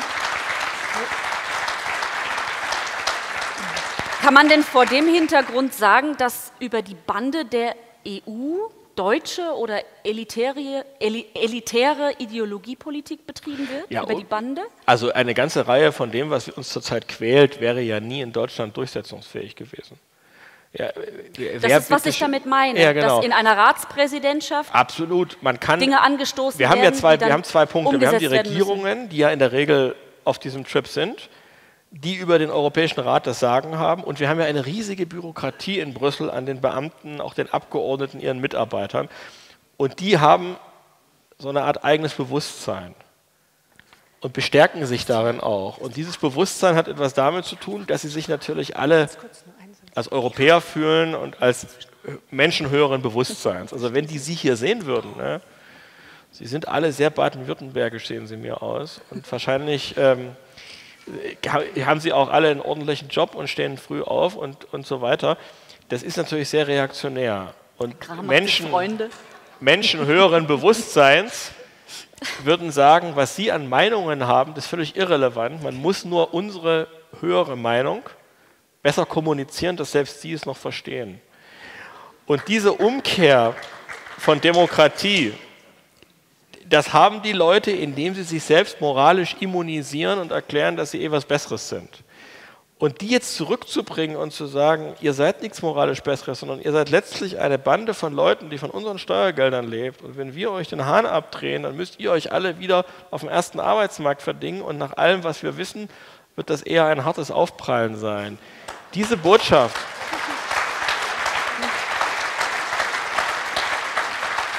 das ist das, was wir vermitteln und das ist, ehrlich zu sein, auch das, was uns ziemlich unsympathisch macht. Das können Sie sich, glaube ich, nachvollziehen. Und äh, da müssen hier. wir durch. Ja? okay. Christina. Ja, ich hätte noch eine Ergänzung anzubringen, was wir eigentlich fast bei jeder Rede der anderen Parteien im Landtag hören, ist der Begriff der Transformation der Gesellschaft. Also, dass sie sprechen dieses Wort aus, jeder hört es, aber keiner weiß eigentlich so richtig, was es bedeuten soll. Aber irgendwie hat man das Gefühl und man spürt, es ist nichts Gutes. Und ich glaube, das ist genau das, was du jetzt beschrieben hast. Ja, die Eliten wollen uns eigentlich ihre Sichtweise aufdrücken. Und der Herr Kretschmann hat es tatsächlich auch schon mal fertiggebracht, im Plenum von der neuen Weltordnung zu sprechen. Ich habe mir dann erlaubt, über eine, einen Abgeordnetenbrief ihn anzufragen, was er darunter versteht und eine neue Weltordnung, also eine neue Weltregierung, wer denn das dann sein sollte. Er hat sich natürlich äh, sehr charmant herausgeredet. Er meinte damit die ganzen Prozesse der Globalisierung, so hat er es erklärt. Aber ich wollte damit einfach nur verstärken, eigentlich gibt man es offen zu, was man mit uns macht. Wir müssen es nur verinnerlichen und wir müssen daraus eine Lehre ziehen. Wenn wir das nicht wollen, müssen wir etwas dagegen tun. Ja, zumal der, zumal der Begriff der neuen Weltordnung ja eindeutig ist und äh, sich da rauszureden, ist schon abenteuerlich. Mhm. Stichwort Transformation. Und äh, ich würde jetzt ganz gerne mal nach Großbritannien schauen. Vielleicht haben die Briten ja gemerkt, dass sie transformiert werden sollen. Wer weiß. Die Briten haben auf jeden Fall geschafft, was vor einiger Zeit noch undenkbar schien. Sie haben den Austritt aus der EU beschlossen. Und was bedeutet das für die Briten? Was bedeutet das für die verbleibenden EU-Staaten. mich würde deine Einschätzung interessieren, Dirk. Ist der Brexit der Anfang vom Ende der EU oder wird es der Europäischen Union unter Umständen ohne die Dauernörgler aus Großbritannien besser gehen? Ja, also erstmal ist der Brexit ein Experiment.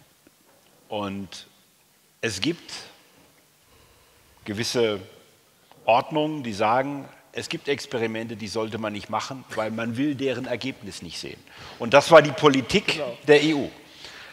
Es gibt ein Experiment und die Diktion der EU ist, du kannst rein, aber du kannst nicht mehr raus. Das ist wie bei Hotel California. you can check out, but you can never leave. und das heißt, es ist genau dieser Gedanke der EU. Du kommst hier nicht mehr raus. Und jetzt gibt es eine Nation in Europa, die sagt, ist mir egal, was ihr sagt, wir probieren es. Und allein dieser Mut, Mut allein dieser Mut und diese Entschlossenheit zeigt, dass es eben doch Völker und Nationen gibt. Und jetzt muss man sich noch ganz nüchtern mal überlegen, natürlich waren die Engländer nicht so verwurzelt in der EU wie Deutschland. Das muss man auch ganz nüchtern anerkennen.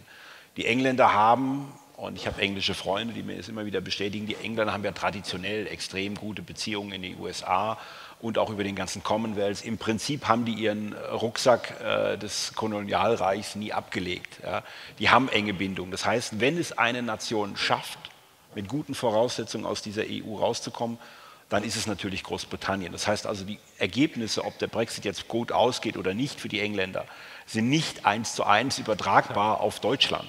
Das muss man ganz nüchtern auch so sagen, weil England eben andere Voraussetzungen hat. Aber es ist ein Experiment und ich finde es immer wichtig zu wissen, ob etwas möglich wäre. Und dann, wenn wir sehen, wie dieses Experiment ausgeht, dann können wir hier in diesem Land uns angucken, ob wir mit der Jetzt- oder mit der Ist-Situation zufrieden sind oder ob wir das positive oder negative Ergebnis Englands auf uns übertragen wollen. Und das bringt uns als Deutschland auf jeden Fall weiter, weil wir werden mit dem Ergebnis, egal wie es ausgeht, die Entscheidung, wie wir mit der Europäischen Union und den, du weißt es ganz genau, nicht immer demokratischen Verhältnissen der Europäischen Union, wie wir mit denen umgehen, das werden wir daran viel besser bewerten können, als wenn wir heute in der Situation stehen, ähm, in ein unbekanntes Gewässer zu springen. Das heißt, der Brexit hilft uns bei der Entscheidung, ob wir aus der EU rausgehen. Ich persönlich glaube, das möchte ich auch hinzufügen, dass der Brexit eine Fliehkraftbewegung in der Europäischen Union auslösen wird, wenn er positiv ist. Und dass diese Fliehkraftbewegung nicht zu der Frage führen wird, ob die EU weiter existiert, sondern nur noch die Frage sein wird, wie lange existiert diese EU. Ich, ähm, ich will das jetzt, ich will das, aber nicht, ich will das aber nicht zu positiv darstellen, weil es ist tatsächlich so und auch die AfD ähm, hat nicht die Position, wir wollen raus um jeden Preis. Wir haben das auch immer gesagt, ein Dexit um des Dexits willen, um jeden Preis, den wollen wir nicht. Wir wollen aber auch keine EU um jeden Preis. Wir wollen eine EU, wir wollen eine EU zu unseren, für unser Land zielführenden Konditionen. Auch eine rationale EU. Und das halte ich für den wichtigsten Punkt, ähm, diese Diskussion. Zu welchem Preis bin ich bereit, in der EU zu sein und die Rahmenbedingungen der EU zu akzeptieren? Diese Diskussion wird durch den Brexit eingeleitet, ernsthaft eingeleitet.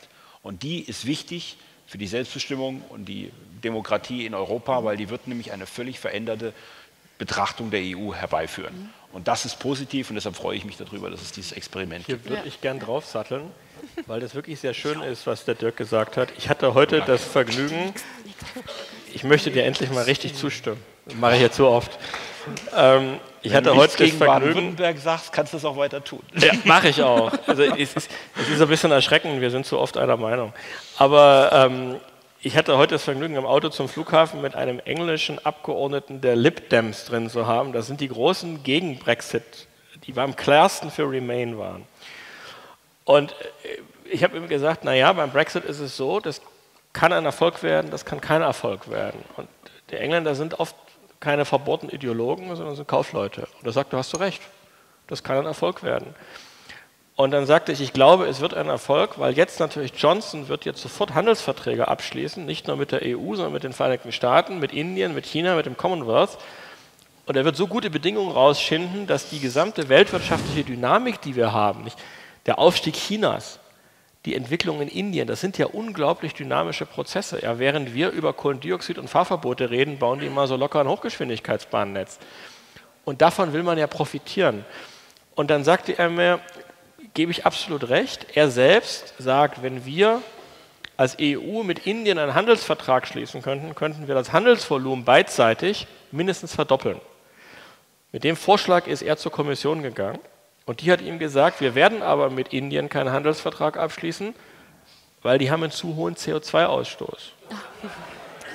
Die Ideologie Jetzt, ich ihm, jetzt kommt die Ideologiebremse. Jetzt habe ich ihm gesagt, ja glauben Sie denn, dass Johnson sich um den CO2-Ausstoß von Indien Gedanken macht, wenn er für seinen Brexit einen Erfolg produzieren will? Da musst du sagen, natürlich nicht. Ja? Das heißt also, die Frage ist doch, wird England das jetzt wahrscheinlich sehr pragmatisch, sehr englisch, raubeinig, ja, mit dem alten Gen der Piratennation sich an Handelsverträge machen wird? wird dieses Land, das sich selbst verwaltet und an sich wieder glaubt, besser rauskommen auf die lange Zeit, wenn Sie nach zehn Jahren schauen, als ein überregulierter Moloch auf dem Kontinent, der sich Gedanken darüber macht, ob man Handelsverträge schließen darf, wenn die CO2-Bilanz nicht stimmt. Das heißt, es müsste in England mit dem Teufel zugehen, dass die sich nicht ökonomisch und damit auch technisch und vom Selbstbewusstsein her freischwimmen. Denn eine Nation, die sich entwickelt, die Wachstum produziert, die ist in der Regel mit sich zufrieden und ist selbstbewusst und da, da geht es also ganz gut zur Sache. Nicht, das wissen die Ingenieure hier im Autobauerland. Und genau deshalb ist es wichtig, weil uns mit England jetzt ein Beispiel zur Verfügung steht. Ich gebe dir allerdings in einem Punkt, muss ich doch etwas Wasser in den Wein kippen, wenn der Brexit scheitert. Da haben wir ein Problem. Das habe ich auch gesagt. Da haben wir ein Problem. Also insofern, ähm, wir wünschen den Engländern schon deshalb alles Gute, damit unsere Argumente nicht äh, widerlegt werden. Äh, aber ich bin sehr optimistisch, äh, dass die Engländer das sehr gut hinbekommen und dass wir dann neue Argumente bekommen, endlich Lust zu Einen Satz möchte ich noch dazu Jetzt, sagen. jetzt. Okay, ein Satz. Ein Satz. Und wenn der Brexit scheitert, dann haben wir wenigstens nicht die Probleme an der Backe. Gut. ja, gut, so kann man es auch sehen. Da, da würde Also- ich jetzt widersprechen, weil für das Schlechte ist die AfD immer zuständig. Also, Ja, Dirk, du hast es ein Experiment genannt und hast gesagt, äh, wir können uns den, den Ausgang von diesem Experiment ansehen und dann schauen, ob wir das für Deutschland adaptieren möchten oder nicht. Jetzt würde ich gerne den äh, Fi- Finanzexperten dazu befragen, was erwarten Sie in Bezug auf die Entwicklung Großbritanniens im Vergleich zum Wirtschaftsraum EU? Ist so ein bisschen vorweggenommen, aber lassen wir Herrn Senze Also- dazu auch nochmal. erstmal muss ich mal da auf die Engländer eingehen. Engländer sind Engländer, Waliser sind Waliser und Schotten sind Schotten äh, und die Iren und Nordiren sind nochmal was anderes. Das heißt, die haben ihre Unterschiedlichkeit auch viel besser gepflegt als wir. Muss man mal ganz klar sagen. Äh, Piraten waren sie immer, weil sie haben eigentlich immer mehr oder weniger den Mehrwert von anderen geholt, aber sie waren immer Merkantilisten, eine Handelsnation. So wie übrigens die Holländer, die jetzt zum neuen Korrektiv innerhalb der, oder die Niederländer, die zum neuen Korrektiv wahrscheinlich sich aufschwingen werden, auch merkantilistisch denken. Und die alten Verbindungen, die ja eigentlich bei uns nur familiär bestehen, weil fast 60 Millionen der USA-Bürger haben, äh, US-Bürger haben äh, deutsche Wurzeln. Äh, da erinnern Sie sich ja immer bei Sauerkraut, was mich eigentlich aufregt, und Lederhosen, weil nicht alle Deutschen tragen Lederhosen und nicht alle essen Sauerkraut. Nicht? Aber äh, das nur am Rande. Äh, es war schon eine längere Diskussion in Großbritannien darüber, ob ein Brexit ein Erfolgsmodell äh, werden soll. Und äh, da haben äh, ganze Volkswirtschaftsscharen haben darüber nachgedacht und es gab zwei Lager. Die einen sagen, ja, es wird ein Erfolg, der anderen haben gesagt, es wird kein Erfolg. Äh, wir wurden hier mehr oder weniger mit einem Szenario konfrontiert, die heißt, das wird ein Misserfolg. Das wird das größte Fiasko für die Briten äh, werden, weil das geht nicht. Aber wenn Sie die Presse aufmerksam beobachten, aber auch die Äußerungen von äh, unserer Bundeskanzlerin, die jetzt plötzlich davon ausgeht, dass es dann unter Umständen zu Wettbewerbssituation kommt innerhalb des alten europäischen Marktes, sagt ihn, zeigt ihn schon auf, dass es dann doch äh, anders gesehen wird, innenpolitisch und auch außenpolitisch, äh, wie das Szenario eintritt. Ich glaube ganz fest daran, dass äh, die Engländer ja zwei oder die Briten eigentlich zwei gute Dinge getan haben. Sie haben sich eine relative Unabhängigkeit bewahrt, auch in der EU. Sie waren immer kritisch. Das andere, sie haben sich ihre Währung bewahrt. Sie haben sie ihre Währung bewahrt. Und über ihre Währung können sie jederzeit, jederzeit können sie ihren Markt fördern. Das gelingt uns nicht mehr, weil wir haben im Verhältnis zu unserer Umgebungstemperatur, äh, den Südländern, haben wir eine viel zu weiche Währung. Das sehen Sie auch in der Entwicklung der Schweiz. Die Schweiz, die ja wirklich keine Handelsnation im ureigenen Sinne ist, die eigentlich davon partizipiert hat, dass sie als Hotspot, als Magnet für Kapital agiert haben, äh, von den 1900er äh, Jahren bis heute und dort sehr viele Unternehmen angesiedelt haben, übrigens auch sehr viele Deutsche, die haben es dort geschafft, sich praktisch zu verankern in der Gesellschaft und bringen Innovationen hervor. Und trotz einer vielfach teureren Währung sind sie in der Lage, im Wettbewerb standzuhalten. Das ist der Unterschied. Das heißt, wir können nicht mehr das Korrektiv nehmen der Währungssteuerung, sondern das machen andere für uns. Und die machen unsere Währung noch billiger. Und wenn die Lagarde mal im Amt eingeführt ist, wird sie das tun, was sie schon immer gemacht hat. Sie agiert über eine billige Währung und wird die noch weiter runterziehen. Das ist ein Problem. Und jetzt denken Sie mal an die vielen Sparer. Die vielen Sparer und das Sparen war immer der Zins war immer das Korrektiv im Finanzmarkt. Schon immer war der Zins das Korrektiv. Manche von Ihnen werden sich erinnern, dass sie noch, da schon von 10 Prozent äh, Zinsen ja. runtergefahren sind auf Null. Dieses Korrektiv ist weg. Das wird zu einer allgemeinen Verarmut der Sparer führen und äh, zu einer Unterversorgung. Ich persönlich glaube stark daran, dass die Engländer, sprich die Briten, das sind ja nun mal die Mehrheit dieser Bevölkerung, dass sie Erfolg haben werden. Und das wird uns dazu zwingen, gegenzusteuern. Und zwar auf demokratischen Wege. Denn das, was wir hier vor Ort, nämlich unseren Haus und Hof selbst in Ordnung halten können, gehört auch hier nämlich unsere Interessen wahrzunehmen. Das, was wir nicht können, das geben wir an die nächste e e politische Ebene, nichts weiter. Deshalb, meine Prognose ist nicht so skeptisch. Ich sehe das zwar auch ein bisschen als Experiment an, aber das wird, sagen wir wie im Labor, wird es ein Korrektiv sein für das politische Handlung in Europa. Ja gut, die, die EZB... Ja.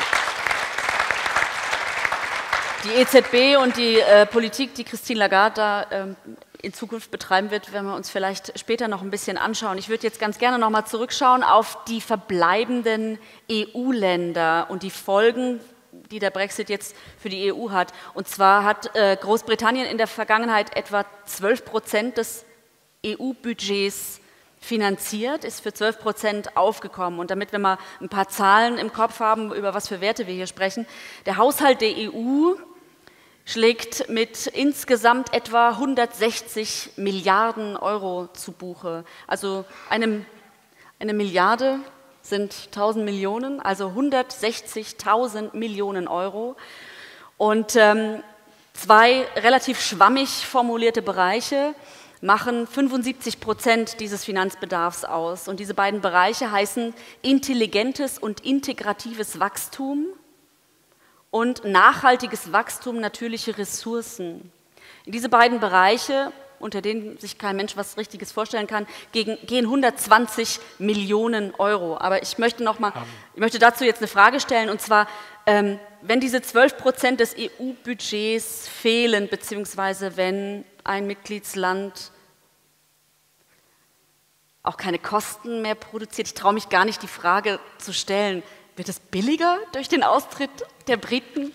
Nee, das, also das ist ein, ein, ein Trugschluss. Das ist eine lustige Frage. das ist ein Trugschluss, weil weil Sie müssen sich vorstellen, der Gesamthaushalt bleibt bestehen, der verändert sich ja. Genau. Nein, sowas. Und der Gesamthaushalt muss allerdings finanziert werden. Und wir kennen ja Frau Merkel, wenn die eine Auslandsreise macht, bringt sie immer Geld mit. Nicht?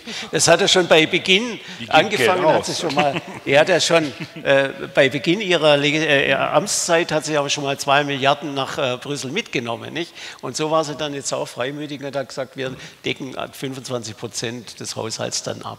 Das heißt, für Baden-Württemberg Bamberg ungefähr. Wir können uns vorbereiten, nicht auf 3,37 Milliarden Euro, die wir an die EU abliefern, sondern wir dürfen zukünftig wahrscheinlich 4 oder 5 Milliarden abliefern, weil noch sind wir ja einigermaßen erfolgreich.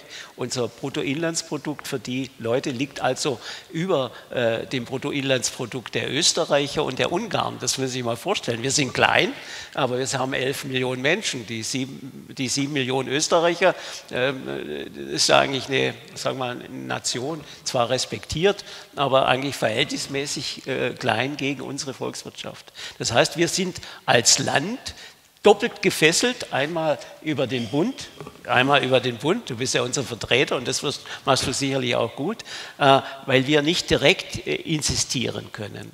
Äh, unsere Europaabgeordneten von den anderen Parteien sind aus meiner Sicht Totalversager, weil sie nicht in der Lage sind,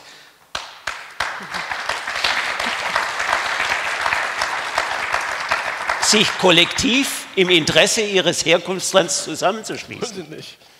Ich mache Ihnen äh, ein Beispiel. Ich selber, ich bin äh, in der Bodensee-Konferenz nicht, und ich äh, habe das Vergnügen, dann immer dort praktisch mehr oder weniger auch die Standpunkte der Deutschen zu vertreten, weil wir sind ja als äh, Sauschwaben, das sind wir ja alle, ne, sind wir dort äh, vertreten. Und ich versuche dann mit meinen Kollegen im Vorfeld immer mal äh, sagen, einen Konsens herzustellen.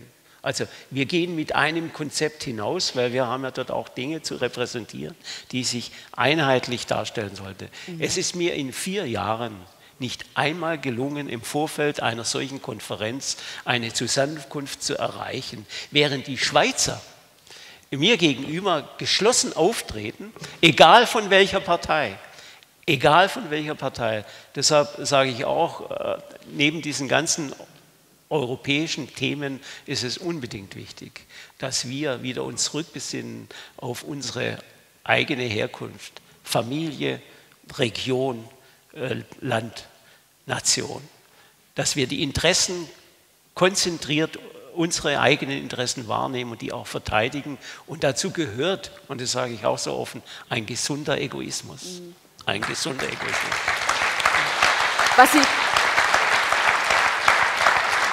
was Sie gerade gesagt haben, ähm, dass äh, Politiker innerhalb äh, Deutschlands und ähm, zugehörig den anderen Parteien äh, sich nicht in der Lage sehen, sich mit der AfD an, einen Tisch zu setzen oder mit, mit uns ein gescheites Gespräch zu führen. Das beklagt übrigens auch eine, eine Zuschauerin hier aus dem Saal. Ähm, die Altparteien sind bis jetzt nicht einmal imstande, sich mit der AfD an einen runden Tisch zu setzen steht hier auf der Karte.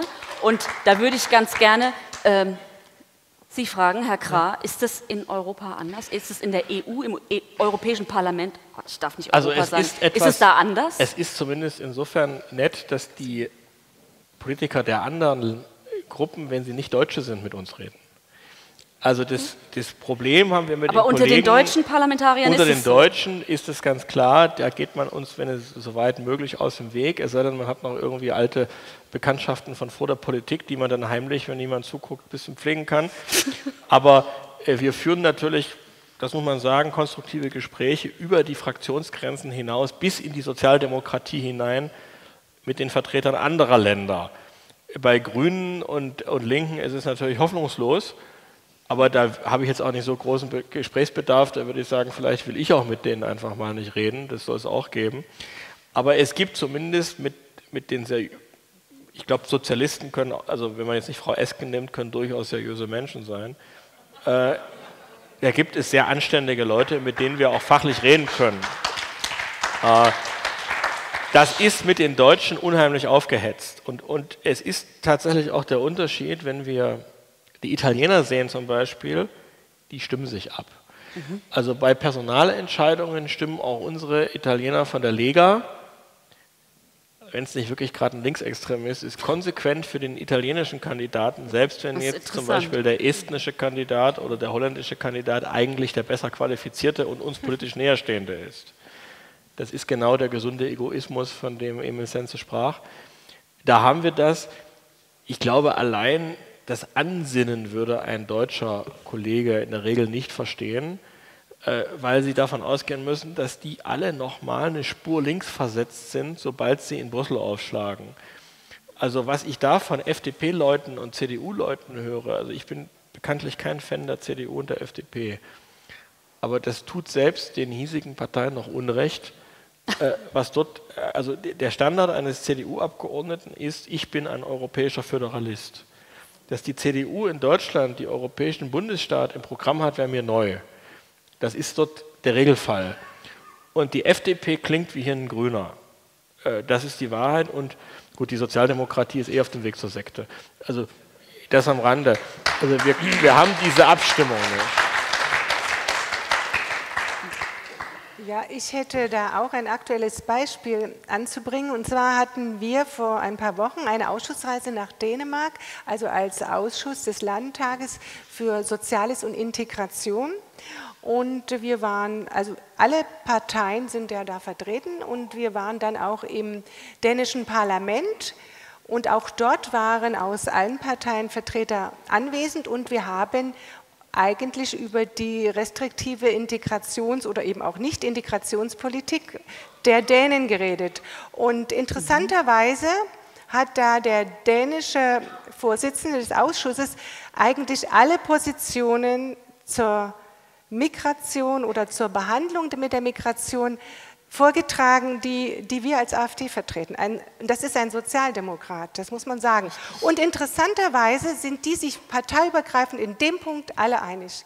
Man hat uns gesagt, dort die erste Frage, die jeder bekommt, der jetzt äh, einen Asylantrag stellt, ist die, ob er wieder zurück, zurück möchte. Und wenn er das bejaht, dann bekommt er sogar relativ große finanzielle Unterstützung. Ich wollte damit nur sagen, also in anderen Ländern wird auch dort bei bestimmten Themen parteiübergreifend agiert. Und äh, daran sollten wir uns wirklich in Deutschland, beziehungsweise nicht ja wir, aber die anderen Parteien tatsächlich mal erinnern. Denn alle, alle Abgeordneten sind als Vertreter des Volkes gewählt und sollen dort Interessen des Volkes, ihres, ihrer Wähler vertreten. Und das geht nur,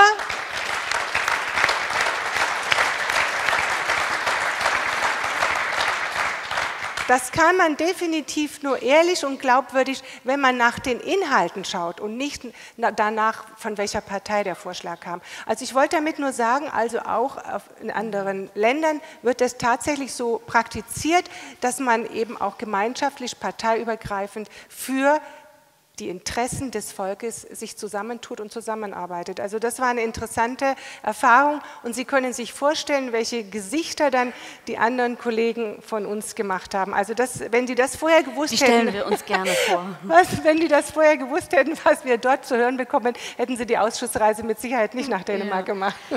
Zu, zu, dem, was du gerade sagst, passt, ein, äh, passt, eine Frage hier aus dem Publikum, die mir der äh, Herr Dr. Gerdes freundlicherweise hochgebracht hat. Ähm, ist es möglich, die Kindergeldzahlungen an die Drittstaaten einzustellen oder anzupassen an die dortigen Wirtschaftsverhältnisse?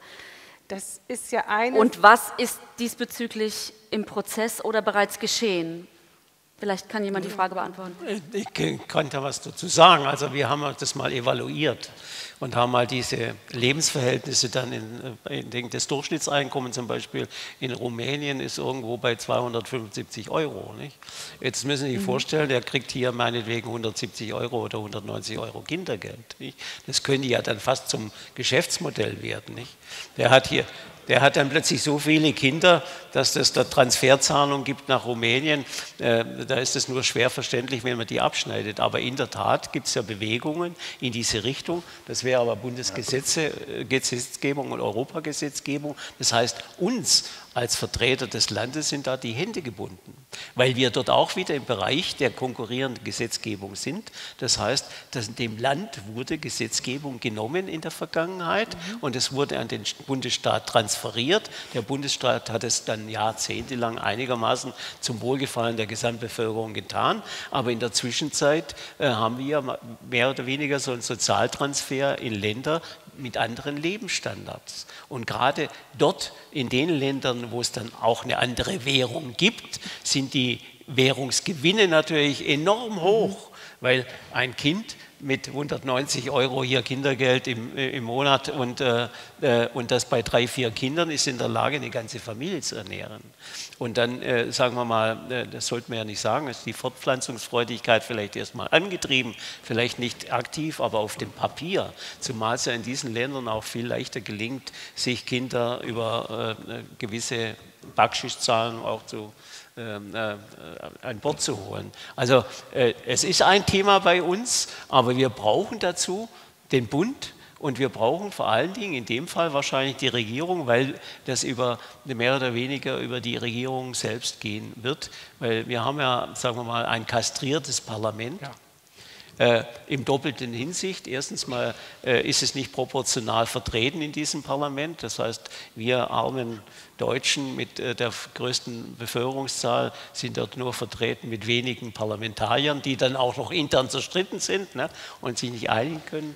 Und auf der anderen Seite äh, hat es gar keine Befugnis in diesem Bereich. Wir können darüber diskutieren und sonst nichts. Ja, Das ist ein Bundesthema, das wird in der Bundestagsfraktion diskutiert. Unsere Position können Sie sich denken. Wir sind natürlich dagegen, dass diese Transferzahlungen in der heutigen Form erhalten bleiben. Das heißt, wir wollen genau diese Anpassung. Man muss sich überhaupt überlegen, warum mache ich überhaupt eine Transferzahlung, weil das ist eine Sozialleistung, die ich eigentlich erbringe, um hier in diesem Land die äh, Lebensverhältnisse einer Familie zu optimieren.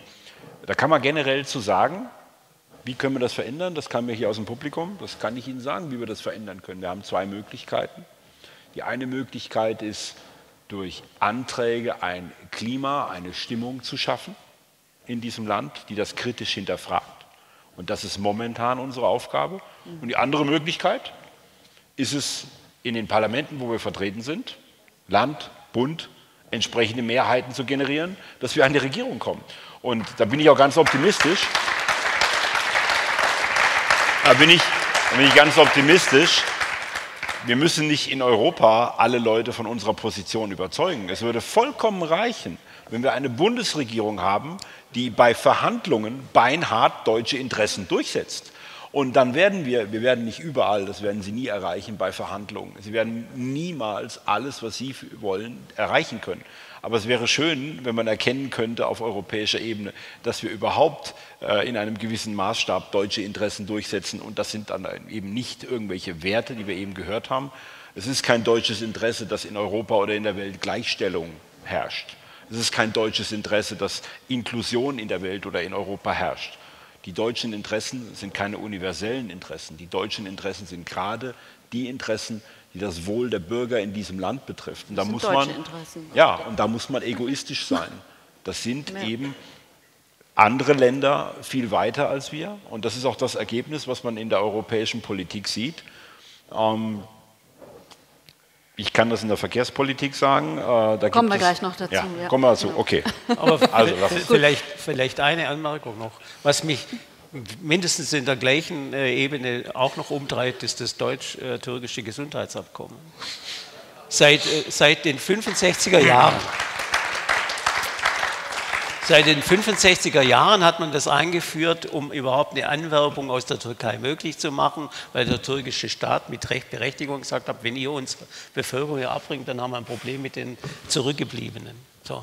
Aber es ist doch eine Ungeheuerlichkeit, dass eben dieses Gesundheitsabkommen auch Berücksichtigung findet bei äh, Schwiegereltern, bei Großeltern etc. pp.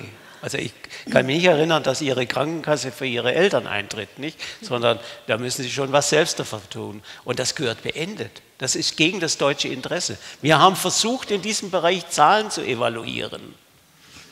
Beim Landesparlament, wir sind dafür nicht zuständig obwohl die AOKs ja äh, eigentlich dort beteiligt sind und äh, Auskunft geben müssten. Wir sind nicht zuständig. Beim Bund, ich glaube, das ist das Gleiche. Da gab es ja auch eine Aktivität, äh, keine Chance. Das wird mhm. aber wie gesagt, wie aus den Mitte der 60er Jahren weitergeführt, äh, wahrscheinlich bis in die Ewigkeit. Und es erinnert doch so sehr an die Sektsteuer, die mal für unsere Marine ausgegeben wurden zu Kaiserszeiten. Nicht?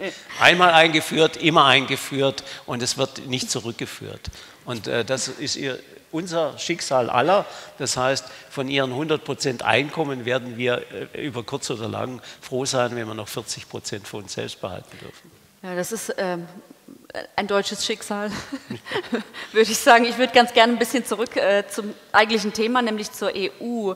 Und ich möchte darüber sprechen, ähm, welche Nachteile die EU auch, Mitglied, auch Mitgliedstaaten gegenüber mit sich bringt im Vergleich zu Ländern außerhalb des Wirtschaftsraums.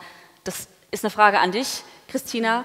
Ähm, kannst du da ein konkretes Beispiel mal nennen für äh, Nachteile, die der Wirtschaftsraum erleidet ja. im Vergleich zu Nicht-EU-Ländern. Ja, das ist jetzt sehr aktuell, denn im Mai diesen Jahres tritt die neue Medizinprodukteverordnung in Kraft. Medizinprodukte sind Produkte, die also im medizinischen Bereich und am Menschen Anwendung finden. Es gibt ungefähr 500.000 ähm, Medizinprodukte im europäischen Binnenmarkt. Das sind zum Beispiel Implantate, Röntgengeräte, Dentalgeräte, Infusionen, aber auch Software gehört dazu. Es wurde jetzt eingeführt von der EU über diese Verordnung, dass diese ganzen Produkte neu zertifiziert werden müssen. Also es werden bestimmte Anforderungen an diese Produkte gestellt und das wird, die werden zertifiziert, zertifiziert bei bestimmten Stellen, die von der EU vorgegeben werden. Auch Produkte, die schon seit Jahrzehnten auf dem Markt sind, müssen neu zertifiziert werden. Gilt es auch für Produkte, die außerhalb der EU eingeführt werden? Müssen die auch zertifiziert werden? Alle Produkte innerhalb der EU müssen zertifiziert sein. Die Produkte, die im europäischen Binnenmarkt unterwegs sind. Genau. Aber Produkte aus Amerika werden dann auch zertifiziert in Europa? Da bin ich jetzt überfragt. Das kann okay. ich jetzt die, werden auch Aber die werden auch zertifiziert. Es steht fest, also dass kein Produkt ab Mai diesen Jahres mehr auf den Markt kommt, das nicht, also kommen darf und nicht mehr da sein Muss darf, ja das nicht zertifiziert ja. ist. Genau. Mhm. Und das führt natürlich bei einigen Betrieben, gerade wieder bei kleineren Betrieben, dazu, dass sich dann die Herstellung überhaupt nicht mehr und der Vertrieb gar nicht mehr rentiert, weil die Kosten für die Zertifizierung so hoch sind.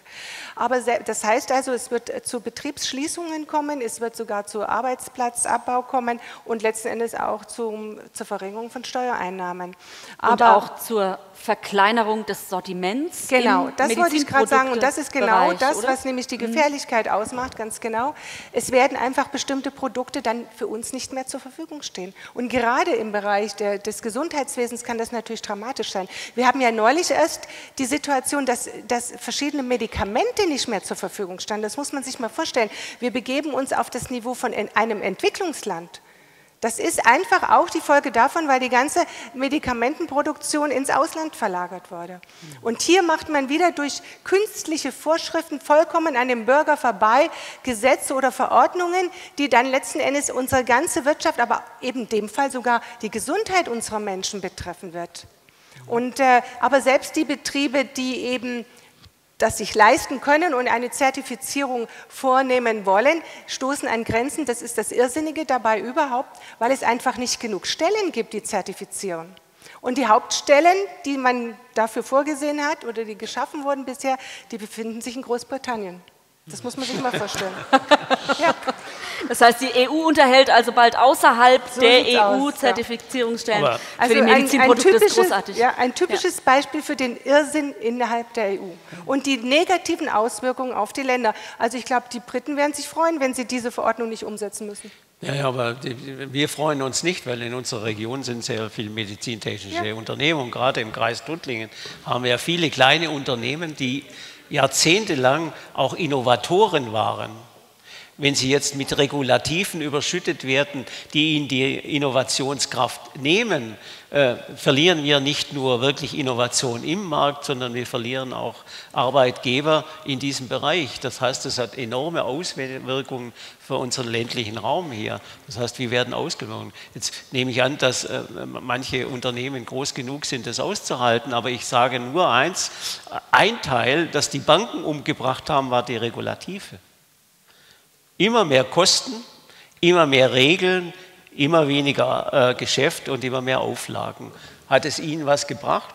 Nein, hat Ihnen nicht gebracht. Sie kriegen dann meinetwegen ein Zertifikat vorgelesen, ne, dürfen auch noch unterschrieben, unterschreiben, dass Sie es gemacht haben. Dann ist es so wie bei, beim Internet. Ne, äh, Sie kreuzen an, sonst kommen Sie nicht weiter. Nicht? Aber niemand liest das Ding. Also mhm. es bringt nichts. Mhm. Und das sind die Dinge, die wir eigentlich grundsätzlich ablehnen. Das heißt, äh, die Amerikaner sagen immer, keep it simple und da ist was dran. Und äh, etwas wieder auf ein normales Ebene, das verständliche Ebene zurückzunehmen, das ist in unserer Gesellschaft mehr als notwendig. Mhm. Ja. Das, es ist, weil wir nach den wirtschaftlichen Erfolgen der EU fragen, eine der Geschichten ist ja immer, es sei ein Raum des Wohlstandes. Die traurige Wahrheit ist, von allen ökonomischen Großräumen, die wir haben, Nordamerika, Indien, China, Europäischen Union, ist die Europäische Union konstant die mit dem niedrigsten Wirtschaftswachstum und sie ist auch am innovationsschwächsten. Ich kann einmal die Frage in den Raum stellen, wer von Ihnen hat ein Smartphone, das in der EU hergestellt wurde? Äh, also es wird ein sehr altes sein. Das heißt, wir haben keine Innovationen mehr. Sie sehen das im Übrigen auch, wenn Sie mal den deutschen Aktienindex vergleichen äh, mit dem Dow Jones.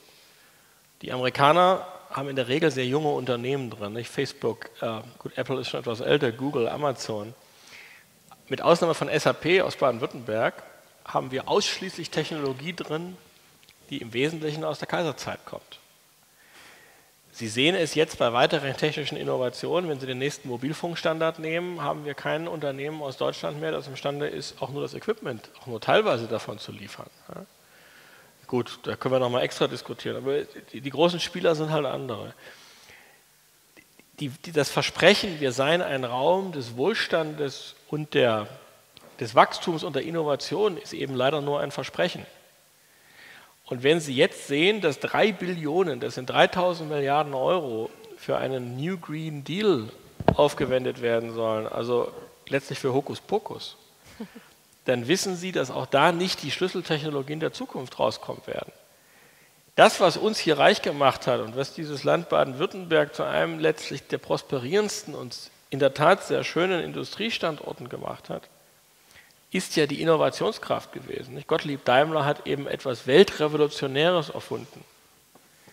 Aber der heutige Gottlieb Daimler würde letztlich schon, er würde er würde scheitern an der Bürokratie und er würde scheitern an den regulatorischen Voraussetzungen und im Zweifelsfall würde er halt lieber Beamter werden äh, oder irgendwas mit Medien machen.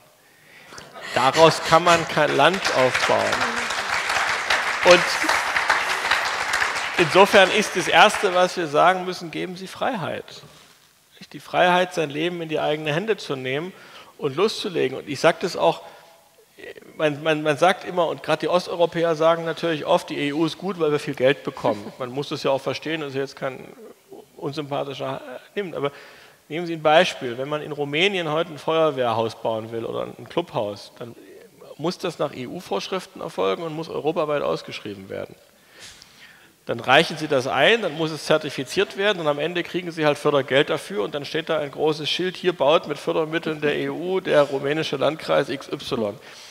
Wissen Sie, wenn die das auf altbewährte Weise machen würden, dass sie sich da ein Holzhaus bauen aus ihrem lokalen Stoff, in ihrem lokalen Baustil, hätten die mit eigener Kraft ihr eigenes Feuerwehrclubhaus und im Zweifelsfall wäre es sogar schöner und es würde ein Drittel kosten.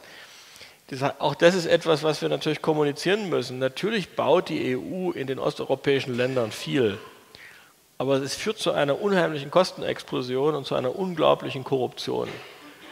Äh, mittlerweile kostet ein Kilometer elektrifizierte Eisenbahnstrecke in der Ostslowakei eine Million Euro. Ich kann mir nicht vorstellen, dass die Slowakei in der Vergangenheit für eine Million Euro ihre Streckennetz elektrifiziert hätte, dann gäbe es da nämlich keine elektrifizierten Strecken. Das heißt, dieser, dieser bürokratische Aufwand, der mit ganz viel sicher guten Gründen in der Mitte ersonnen wird. Ich bin sicher, dass es auch für die, Mediz für die Medizinzertifizierung tausend wohlfeile Gründe gibt. Da, wo es darauf ankommt, es umzusetzen, führt es zu nichts anderem als zu Kosten und zu, zu Aufwand für unnötiges Zeug, was wir eigentlich brauchen, entweder um innovativ zu sein oder um einfach auch glücklich zu sein. Und diese Entkopplung von da, wo die Regelungen ersonnen werden und da, wo sie letztlich eingesetzt werden. Und die fehlende Rückkopplung, dass man dann da, wo man damit konfrontiert ist, denen, die es ersinnt, auch einfach mal sagen kann, Leute, ihr habt doch einen an der Waffel. Das ist das Legitimationsproblem der Europäischen Union. Und deshalb müssen wir die Entscheidung wieder dahin zurückbringen, wo wir sie auskosten. Und dann wird es auch mit der Innovation und dem Wohlstand wieder etwas werden. Und entweder die EU begreift das da habe ich bei Frau von der Leyen massive Bedenken und bei Frau Lagarde noch mehr. Oder? Oder? Oder? Was ist die Alternative? Oder der Laden wird, und zwar ganz ohne, dass, dass wir von der allerbösesten Partei, die man sich vorstellen kann, von der AfD, das befürworten, weil wir ja die Reform wollen. Wir, wir, sind, wir sind ja heute erstaunlich handzahm und konstruktiv. Ja. Ich habe was ganz anderes erwartet, als ich gehört habe, ich fahre nach Baden-Württemberg. Also obwohl wir so unglaublich konstruktiv und reformorientiert sind, trotz unserer Bemühungen, Vernunft zu predigen, wird es dann an diesen Widersprüchen eben scheitern.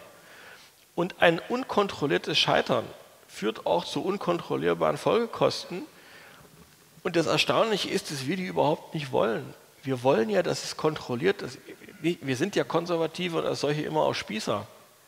Wir wollen ja, dass es ordentlich läuft dass es berechnend läuft, dass es durchdacht ist, dass niemand leidet. Natürlich können wir uns die Implosion nicht wünschen. Aber das, was jetzt kommt, immer neuer Unsinn, nicht? das 50. Geschlecht, die, die Toilette für, die, für die, die, drei Toiletten, am besten wahrscheinlich dann am Ende Unisex. Nur noch eine. Nur noch eine. Einwanderung, die man nicht mehr kontrollieren darf. Ich meine, stellen Sie sich mal vor, statt Viktor Orbans schlecht, wahrscheinlich schlecht bezahlter Grenzpolizei hätte 2015 eine hochgerüstete und gendermäßig geschulte EU-Grenzpolizei die ungarische Grenze bewachen müssen. Hoffnungslos wäre es gewesen. Das heißt, an diesen Widersprüchen, die können Sie nicht ewig mittragen. Und entweder es gelingt uns, die wir hier Vernunft und Reform predigen, uns Gehör zu verschaffen. Optimismus stirbt zuletzt, aber der Realist weiß auch, es wird schwer. Oder wir sollten uns langsam darauf einstellen, dass es eben unkontrolliert wird, dass gerade in den peripheren Ländern politische Kräfte die Oberheit gewinnen, die eben teilweise tatsächlich das sind, was man von uns als Lügen behauptet. Und das wollen wir nicht. Und insofern sage ich immer, wir sind die Guten und wir sind auch keine Eurofeinde und Euroskeptiker, sondern wir sind einfach Leute, die sagen, es gibt so etwas wie normale Vernunft, wie gesunden Menschenverstand, wie Anstand. Es gibt so etwas wie Mathematik und Buchhaltung. Und wir erwarten, dass es eingehalten wird, weil die Folgen, wenn man es nicht einhält, eine Katastrophe sind. Sie sind erst katastrophal teuer. Und teuer, und, und teuer dazu. Also ich würde ähm, gerne noch was ergänzen. Ganz, ganz kurz, ja. weil ich äh, ganz, ganz kurz schaue auf die Uhr ja. und wir haben noch ein paar Themen. Ja. Ich würde ganz gerne ganz noch ein bisschen Gas geben. Eine Ergänzung noch zu diesem Medizinproduktegesetz oder Verordnung und den Auswirkungen. Also die Auswirkungen sind vorauszusehen und das wissen auch, das weiß auch die Regierung, das wissen auch alle anderen Parteien, denn wir haben sogar im Ausschuss darüber schon diskutiert. Und trotzdem obwohl das jetzt genau offensichtlich wird, dass es zu einem teilweise zu einem Chaos führen kann, sind auch in dem Fall jetzt der Regierung oder ist dem Land äh, sind die Hände gebunden. Ja. Also das ist eben das Widersinnige jetzt wieder, was ich sage. Natürlich hatte das eine vernünftige äh, Grund, das mal einzuführen. Es ging nämlich um die Implantate damals, da wo ja irgendwie so ein Fusch betrieben wurde. Aber dann die die Ausuferung wieder von all dem und die Sinnlosigkeit, was dann am Schluss äh, zutage tritt nach so einer Verordnung, man denkt dann einfach entweder nicht weit genug oder es ist einem egal, was dabei rauskommt. Also ich kann es jedenfalls nicht nachvollziehen. Wenn man noch nicht mal genug Stellen hat, um überhaupt diese Voraussetzungen zu erfüllen, die hier selber gefordert werden. Also es ist für mich unverständlich. Mhm.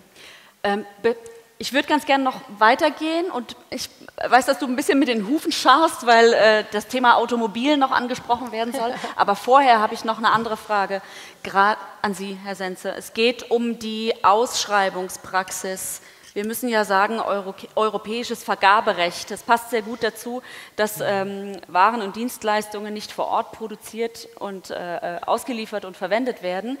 Ähm, und interessant ist, wenn ich mir die Bemerkung erlauben darf, dass ja auch schon rein sprachlich hier aus dem sanktionierbaren Verbot ein sogenanntes Recht gemacht wird das ja. europäische Vergaberecht. Was hat es damit auf sich?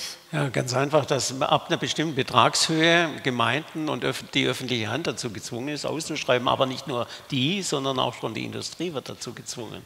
Also, und, und äh, Sie können sich ja vorstellen, was dort äh, sich äh, heranzieht, nämlich Sie brauchen dort spezielles Wissen allein um an die Fördertöpfe ranzukommen. Vielleicht ein Ausflug, der ein bisschen weg ist. Ich bin ja immer eingeladen, wenn irgendwie eine Dorfmitte äh, äh, eröffnet wird nicht? oder eine Parkbank oder so. Ne? Dann steht dann immer so ein Schild gefördert von der EU. So. So. Das sind dann, da sind dann 140.000 Euro geflossen. Dann stelle ich mir einmal die Frage, äh, wie viel ist dort in der Administration versackt? Äh, und äh, das Schöne ist noch, dass die Honoration des Kreises und auch der Gemeinden sich dann noch nachdrücklich dafür bedanken, dass sie ihr eigenes Geld bekommen. Das finde ich dann immer sehr erheiternd. Äh, auf die Frage dann angesprochen, sagen die ja auch, ja, sehen Sie, wir können nichts tun, die Töpfe sind da, wir müssen uns in diesen Bereichen spezialisieren. Und so genau so ist es. Hier spezialisieren sich Gemeinden, die holen sich Spezialisten und wenn sie es selbst nicht bekommen, sourcen sie es out. Da bildet sich eine Wirtschaft. Aber was bringt diese Wirtschaft? Nichts. Der regionale kleine Handwerker, der regionale kleine Straßenbauer, der kann das nicht leisten und verschwindet. Während früher der Gemeinderat gesagt hat, George, komm mal her, wir müssen die Straße hier sanieren, nicht? Äh, müssen Sie heute eine Ausschreibung initiieren, weil die die Betragshöhe X überstiegen hat. Und dann kommt dann meinetwegen auch ein regionaler Anbieter, stellt sein Schild auf nicht? und der schreibt dann weiter aus und holt sich dann Dumpinglöhne äh, mehr oder weniger aus dem Ausland her. Und wenn Sie auf die Baustelle kommen, gibt es dann nur noch den Capo. Ich habe in meiner äh, Nachbarschaft einen Straßenbaumeister, der das auch richtig von der Pike auf gelernt hat, hat gesagt, er kommt mit dem normalen Translator im Google, Google nicht mehr weiter. Nicht? Er macht es jetzt über die Körpersprache. Nicht? Er zeigt, wie die Schaufel zu bewegen ist. Das sind die Resultate äh, dieser Überregulierung und Ausschreibungswut, die überhaupt nicht notwendig ist. Ich hatte das Vergnügen, äh, jetzt äh, die letzten vier Jahre im Landtag zu sein. Vergnügen deshalb, weil ich gemeint habe, ich hätte in meinem langen Leben schon alles kennengelernt. Aber leider war dem nicht so. Äh, neben einer neuen Sprache äh, musste ich auch den Wahnsinn tagtäglich er, äh, ertragen. Äh, und, äh, aber eins habe ich festgestellt, wenn dort etwas gemacht wurde, und der Landtag wurde umgebaut, sie konnten mit keinem dieser Menschen, die dort beschäftigt waren, sprechen. Die hatten entweder Rumänisch, Bulgarisch oder sonstiges. Nicht? Und äh, bedauerlicherweise sprechen die wenig Englisch und äh, auch kein Französisch. Also konnten sie nur über Gestik manchmal und Nicken konnte man mit denen sich verständigen, aber sie haben hier gearbeitet. Aber der Anbieter war ein deutsches Unternehmen, der nur noch die Kopfgesellschaft hier hat und alles andere mehr oder weniger in die verlängerte Werkbank gab, ins Ausland vergeben hat. Ist das Ziel und Sinn dieser Ausschreibungsproblematik, die eigentlich eine Standardisierung sein, hätte sein sollen, die eine Verbesserung herbeiführen äh, sollen? Nee, da bleiben enorme Summen auf der Strecke in der Verteilung. Äh, es bleiben enorme Aufwendungen und jetzt könnte man sagen, es bilden sich neue Industrien. Aber jeder, der ein bisschen was von Volkswirtschaft und Betriebswirtschaft versteht, äh, der Kern liegt immer an einem verkaufbaren Produkt und das ist nicht unbedingt die Dienstleistung. Äh, das ist der Wertschöpfungsmonitor schlechthin. Stichwort verkaufbares Produkt, vielen ja. Dank. Ja. In Baden-Württemberg ist das zu einem sehr großen Teil das Automobil. Ähm, wir haben in Baden-Württemberg, ich habe das mal recherchiert, Ein Zweckverband äh, schreibt, 200.000 Arbeitsplätze hängen direkt an der Automobilindustrie. Etwa ein Fünftel des weltweiten Branchenumsatzes wird in Baden-Württemberg erwirtschaftet. Ähm, dabei nicht eingerechnet, habe ich extra geschaut, sind Umsätze, die durch Handel und Dienstleistungen entstehen, wie Autohäuser, Werkstätten, beispielsweise auch Werbeagenturen, die von der Branche leben. Jetzt gilt Du hast es ja vorhin schon angesprochen, seit 1.1. eine neue EU-Verordnung, die neue maximale Grenzwerte für CO2 pro Kilometer für Fahrzeuge vorschreibt. Wie ist diese Verordnung umsetzbar? Ja, das ist eine Frage, die hätte man vielleicht der EU stellen sollen, als sie das Ding aufgesetzt hat. Ähm, Jetzt frage so, ich dich. Ja, es war so, dass diese ich bin ja nicht gestern auf dieses Thema gekommen, sondern das Ding ist 20 Jahre alt.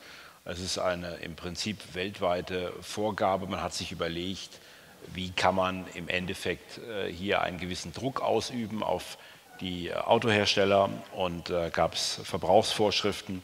Und äh, die EU hatte bisher auch Verbrauchsvorschriften. Das waren diese 130 Gramm, also der Ausstoß in CO2 ist direkt proportional mit dem Verbrauch an Litern. Da gibt es auch keinen Katalysator oder keine Abgasreinigung, die das korrigieren kann. Das heißt, da gibt es keine Möglichkeit, die man reinbauen kann. Das ist Thermodynamik. Und wenn Sie heute einen Verbrennungsmotor in Ihrem Auto drin haben, und wir haben heute eine weitgehend ausgereizte verbrennungsmotorische Entwicklung und somit sind die Motoren äh, sehr effizient. Mhm. Sie sind sehr nah an dem dran, was technisch möglich ist. Und wenn Sie da noch näher dran gehen, wird das Ding halt immer unendlich teurer. Das heißt, man ist heute auf einem Niveau, wo man eigentlich letztes, vorletztes Jahr hatte man verbraucht, da waren es noch äh, viele verbrennungsmotorische Fahrzeuge, lag man so um die 130 Gramm für die Fahrzeugflotten. Und den hat man jetzt gesenkt auf 95 und man wird den weiter auf Richtung 60 Gramm äh, reduzieren bis Ende der 2020er Jahre. Wenn man das erfüllen wollte, müssten die Motoren doppelt so effizient werden. Jeder, der sich auskennt mit Thermodynamik, weiß, ist eine illusorische Vorstellung, es geht nicht. Jetzt hat man aber noch was gemacht. Man hat den Dieselskandal benutzt und hat das Testverfahren geändert. Und das ist vielen vielleicht gar nicht so auf dem Schirm. Ja, man hat jetzt realistischere Verbräuche. Und die Zertifizierungsmethode, die man vorher hatte, die war eine andere. Das heißt, in Wirklichkeit ist die Grenze nicht von 130 auf 95, sondern die Grenze, also 130 ist das, was man so ungefähr erfüllt hat, die ist virtuell noch weiter abgesenkt worden, weil man das Testverfahren geändert hat. Lange Rede, kurzer Sinn, ich will das nicht zu kompliziert machen. Äh, diese Regeln sind nicht zu erfüllen und eigentlich weiß das auch jeder. Und warum gibt es keinen Aufschrei? Es gibt deshalb keinen Aufschrei, weil Sie jetzt als Autohersteller hingehen müssten und sagen müssten, ich weiß nicht, wie ich das machen soll und ich weiß nicht, wie mein Geschäftsmodell morgen noch existieren soll. Das können Sie gerne versuchen. Das wird nicht so besonders gut ankommen am Börsenmarkt und aus diesem Grunde ist die Autoindustrie gezwungen, drumherum zu reden. Und drumherum reden heißt an dieser Stelle, ich setze auf alternative Antriebstechnologien. Sie haben das sicherlich oft gehört. Und diese alternative Antriebstechnologie, die einzige heute verfügbare, ist der Elektroantrieb. Manche reden auch von Wasserstoffantrieben. Ähm, es gibt ja noch den Warp-Antrieb, kann man auch drüber reden. Ähm, Fakt ist auf jeden Fall, dass man, wenn man über Elektrofahrzeuge redet, dann kommt erstmal die Frage, man kann die zwar produzieren, man kann die auch hier in Baden-Württemberg entwickeln. Das Problem an der Sache ist, man muss sie auch verkaufen. Und diese Regelung der EU sagt, ihr zahlt die Strafe, wenn ihr nicht in der Summe entsprechende Autos verkauft, die diese Grenze unterschreiten für die CO2-Gesetzgebung. Das heißt, es geht gar nicht darum, was die Industrie anbietet. Die Kunden müssen es auch kaufen. Und wenn die das nicht tun, weil sie alle gar kein Elektroauto wollen, dann zahlt das Unternehmen eine entsprechende Strafe. Das ist eine typische politische äh, Gesetzgebung. Man gibt etwas vor, man wirft einen Stein ins Wasser und wartet dann mal ab. Gibt es denn da noch andere Möglichkeiten? Also ja. vielleicht eine Umgehung in irgendeiner Weise von diesen, dieser neuen Verordnung? Ich hab, äh, will das jetzt mal kurz äh, noch sagen. Das die europäische Verordnung gilt natürlich in ganz Europa. Das heißt, man kann hier nicht in Deutschland eine singuläre Regelung betreffen. Im Grunde genommen wird die Autoindustrie hier in die Elektromobilität reingezwungen. Ich habe das in meinem Intro-Vortrag schon gesagt. Es ist keine betriebswirtschaftliche andere Lösung momentan zielführend oder möglich. Es gibt diese politische Vorgabe. Die andere Lösung, die ich auch angesprochen habe, wäre, und das war unser Vorschlag im Bundestag, obwohl wir das da nicht ändern können, wir können aber im Bundestag der Bundesregierung vorgeben, synthetische Kraftstoffe anzuerkennen als CO2-neutrale Alternative. Und dann muss das auf europäischer Ebene natürlich beschlossen werden. Aber, das sage ich jetzt auch mal ganz frech, ich habe das ja eben gesagt, wenn die führende Wirtschaftsnation in Europa ein massives Interesse daran hat, dass die Arbeitsplätze hier auch in Baden-Württemberg und die Kernindustrie unseres Landes, und das ist die Autoindustrie, nicht nur von Baden-Württemberg, von ganz Deutschland, wenn dieses Land in der EU sagt, Leute, so geht es nicht, wir müssen diese Gesetze ändern, und zwar so, dass wir das überleben, dann wird das auch passieren, zumindest mit der richtigen Regierung. Und na, man kann das ändern. Ja, ich habe gesagt, man muss einfach nur die Gesetze ändern.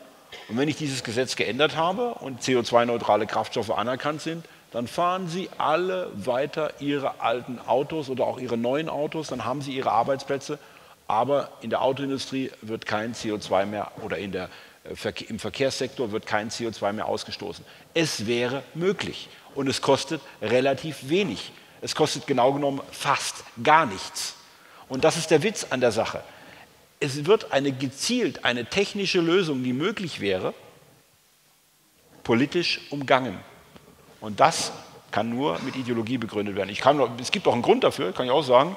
Ja, ich wollte gerade nach dem Grund fragen. Ja, das ist ganz einfach. ähm, wenn Sie mal einen grünen Politiker fragen, hinter verschlossenen Türen, wie, wie stellst du dir das vor? Wir haben in Deutschland 50 Millionen Fahrzeuge zugelassen. Wie stellen Sie sich das vor, dass diese 50 Millionen Fahrzeuge täglich geladen werden? Äh, Ladestationen ja, kann man sich auch gern mal in Bulgarien oder in Portugal vorstellen, gilt ja in der ganzen EU. Dann sagt Ihnen der grüne Politiker, ja, ist klar, äh, wird nie funktionieren. Und dann sage ich, ja, für wie viele Autos wird es denn funktionieren? Naja, vielleicht für fünf Millionen. Und dann kommen Sie genau zu dem Punkt. Die eigentliche Politik, die hier hintersteht, ist die Abschaffung des individuell genutzten Automobils.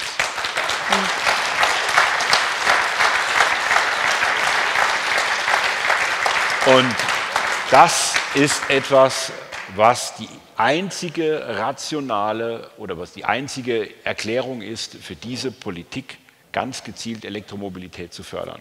Und das ist etwas, was viele nicht verstehen, weil es nicht so offen, natürlich wird es nicht offen gesagt, da sind wir wieder, dieses Spiel über Bande. Wir haben eine extrem verlogene Art, Politik zu machen, indem wir Umweltorganisationen haben, die mit der EU ein Gesetz auskungeln, das gezielt auf die entsprechenden Nationen zurückwirkt, und wenn der Fehler dieses Gesetzes auftaucht, zum Beispiel in Baden-Württemberg, wenn wir nächstes Jahr feststellen, dass bei uns die Zulieferbetriebe reihenweise wirtschaftliche Probleme kriegen, das ist genauso wie mit den Fahrverboten, dann stehen wir hier in Baden-Württemberg und da wird sich ein hoffentlich dann nicht mehr Ministerpräsident Kretschmann hinstellen und wird sagen, kann nichts machen. Ist so. Ja. EU, das ist verlogen. Natürlich dann, dann kann auch wenn Fakten geschaffen sind. Ja, natürlich kann auch Baden-Württemberg in der Situation etwas machen. Wir müssen den entsprechenden Druck ausüben auf die Bundes- und Europapolitik, um hier an dieser Stelle unsere Interessen durchzusetzen. Und das Interesse von uns kann nicht sein, dass wir ein ideologisches Ziel der EU erfüllen und Elektromobilität machen. Das Ziel für uns muss sein, das Ziel für uns muss sein, dass wir die Regeln der EU erfüllen, dass wir einen gewissen Umweltschutz haben, aber dass wir unseren Wohlstand und unsere Arbeitsplätze hier in diesem Land und auch die Mobilität in diesem Land erhalten. Nicht gefährden. Ja. ja. Also nach der, nach der Sinnhaftigkeit der einseitigen Förderung von E-Mobilität wollte ich auch noch fragen. Vielleicht ich wollte da eine Ergänzung machen. Der Exodus der deutschen Industrie hat ja schon begonnen. Weil eins gilt auch, äh, die Produktion folgt zunächst den Märkten. Das hat man gesehen, an der VW, die sich dann in den 70er Jahren schon nach China aufgemacht haben, das immer mehr ausgebaut haben. Aber mit der Produktion geht auch die Innovation und die Forschung hin. Mein früherer Arbeitgeber, viele von Ihnen wissen, dass ich bei der BMW Bank war und da eine gewisse Autoaffinität habe, äh, hat ja auch schon Überlegungen angestellt, ob er das Forschungs- und Innovationszentrum nach USA verlegt. Die, mehr als die Hälfte der Produktion findet schon statt. Und wenn die anderen Nationen unseren Entwicklungen und politischen Ideologien nicht folgen, werden wir eins erleben, dass Unternehmen, Industrieunternehmen in der Größenordnung wie Daimler-Benz äh, oder BMW oder auch VW ihre Produktion nicht nur verlagern, sondern ganze andere Arbeitsplätze, nämlich wie die Forschung und Innovationszentren auch verlagern. Das findet jetzt schon statt, schleichend. Und viele denken darüber nach und große Automobilhersteller wie General Motors äh, haben sich zunächst mal getrennt von ihren europäischen Dependancen und viele in, äh, Automobilanbieter haben sich sogar von dem Markt getrennt und liefern gar nicht mehr nach Europa ein. Ja, das ist ein ganz wichtiger Punkt, den viele vielleicht unterschätzt haben. Es wird ja in den Medien so getan, als würde die ganze Welt auf Elektromobilität setzen. Wissen Sie, dass das gar nicht stimmt? In China hat man jetzt gerade entschieden, den AfD-Antrag im Deutschen Bundestag eins zu eins in Gesetze umzusetzen. Ja, das muss man sich auf der Zunge zergehen lassen. Ein AfD-Gesetz, das durchgeht. Ja, bitte? Ein AfD-Gesetz, das durchgeht. Ja, ein AfD-Antrag leider nur. Also lange Rede, kurzer Sinn. Das, was ich Ihnen eben gesagt habe, dass man erkannt hat, man kann den Emissionen für Kraftfahrzeuge nicht wirtschaftlich reduzieren, indem man auf Elektromobilität geht, sondern man braucht dazu synthetische Kraftstoffe. Genau das haben die Chinesen umgesetzt. Und wissen Sie, was jetzt passiert in China? Jetzt entsteht ein Wettbewerb um die Herstellung von synthetischen Kraftstoffen. Und Elektromobilität, die Unternehmen, die Start-up-Unternehmen, die brechen gerade zusammen, weil die staatliche Förderung wird nämlich gestrichen. Man könnte ja, das ist Wettbewerb. Der das Wettbewerb findet aber leider ja, nicht in Europa genau. oder in Und Deutschland die BMW, statt. Die BMW-Vertretung in, in Berlin hat neulich den Finanzminister eingeladen und er hat den BMW-Vorstandsvorsitzenden, gab so ein Treffen in der Hauptstadt und da hören Sie, war so eine Podiumsdiskussion, ja, auch eine nette Moderatorin und da war dann der BMW-Vorstandsvorsitzende und der Finanzminister, die haben sich dann, also unser Finanzminister in Deutschland, haben sich dann unterhalten und dann hat, äh, kam dann raus, ja, wir wollen ja in Deutschland äh, im Prinzip die Elektromobilität fördern. Und da sagt der BMW oder die Autos aus den Innenstädten raushaben. Und da sagt der BMW-Chef, ja, ich sage das jetzt mal in meinen Worten, ähm, ist uns egal. So wichtig ist dieser Markt nicht mehr. Wir werden uns von verbrennungsmotorischer Entwicklung nicht trennen. Und dann hat der Finanzminister gefragt, aber Sie werden doch die Autos nach wie vor in Deutschland herstellen. Und daraufhin hat der BMW-Vorstandsvorsitzende gesagt, dass selbstverständlich die Produktion von Verbrennungsmotoren weiterhin bei BMW erhalten bleiben wird. So, und wenn Sie genau zugehört haben, was er nicht gesagt hat, er hat nicht gesagt in Deutschland. Ja? Das heißt, die Entscheidung, wie ein Unternehmen seine Autos baut und wo es die baut, die trifft dieses Unternehmen selbstverständlich ohne die Politik. Und wir haben in Europa eine Situation geschaffen, eine Steilvorlage geschaffen, diese Produkte nicht mehr in Europa zu produzieren. Ich sage Ihnen das mal klipp und klar. Wenn Sie eine E-Klasse in Sindelfingen produzieren mit Dieselmotor oder mit Benzinmotor, aber die aufgrund der Gesetzgebung in Europa nicht mehr verkaufen können, was meinen Sie, wie lange es sinnvoll ist, diese E-Klasse mit Importzöllen in China oder in den USA zu verkaufen? Zumal sie ja in China und USA bereits ein Werk haben, wo diese Fahrzeuge heute vom Band laufen. Sie müssen noch nicht mal eine neue Fabrik bauen. Sie müssen diese Fabrik nur ein bisschen umbauen. Die Welt und der Wettbewerb wird es regeln. Ich fürchte, wir werden sehr schnell merken, was die Politik, die ideologische Politik in Europa hier in Baden-Württemberg angerichtet hat. Ich bin da aber sehr positiv gesinnt. Genau das wird dazu führen, dass unsere Gesellschaft rationaler über unsere Interessen und über wirkliche Politik nachdenkt und aufhört, irgendwelche Dekadenzpolitik zu machen, die in der Praxis nicht funktioniert. Gut. Du hast, du hast gerade einen schönen Satz gesagt, die Welt wird es regeln. Was es unter Umständen auch regeln könnte, ist jetzt mal so rein hypothetisch, das wäre vielleicht eine echte Bürgerbeteiligung in Europa. Und damit schneide ich mal äh, das nächste Thema an. Ähm, ich würde gern die beiden, die drei Vertreter der beiden deutschen Parlamente in Baden-Württemberg und im Bund fragen. Landesparlament und Bundestag sind ja faktisch zwei Gesetzgebungen unterworfen. Herr Sense, Sie haben es vorhin gerade auch schon gesagt, dass der jeweiligen im Land oder im Bund und der europäischen, Stichwort ausschließende und konkurrierende Gesetzgebung. Welchem Herrn dienen Sie? Darf ich mit der Dame anfangen? Ja, Christina, welchem Herrn dienst du? Dem baden-württembergischen oder dem europäischen? Ich diene meinen Wählern. Also ich werde dann bin ich mit dem Thema Bürgerbeteiligung doch sicher richtig bei dir. Ja, also ich, wie ich vorhin schon sagte, ich verstehe mich total als Volksvertreterin und ich werde versuchen, im Landtag die Interessen der Menschen umzusetzen, die mich gewählt haben. Ja? Und das sind immer nationale Interessen. Denn die Wähler, die uns wählen, die wollen, dass wir deutsche Interessen umsetzen. Es ist leider für uns als Oppositionspartei eben einfach äh, noch nicht möglich, aber wir haben tatsächlich auch schon kleine, ganz kleine Erfolge erzielt. Allein schon durch unsere Anträge auch treiben wir die anderen vor uns her. Und äh, natürlich schreiben sie sich die Erfolge dann auf ihre Fahnen, aber irgendwann hoffe ich, dass wir dann doch mal durchkommen werden. Mhm. Ähm, die Möglichkeiten, also ich gebe die Frage auch noch mal gerne auf die andere Seite und frage gleichzeitig mal auch nach den, nach den Möglichkeiten, ähm, die es für die Parlamente gibt, in Land und Bund auf die EU Einfluss zu nehmen. Stichwort Bundesrat als Treuhänder von Landesinteressen. Ja, Kann man das hatte, so sagen? Ja, ja, so müsste es sein. So müsste es sein. So müsste es sein.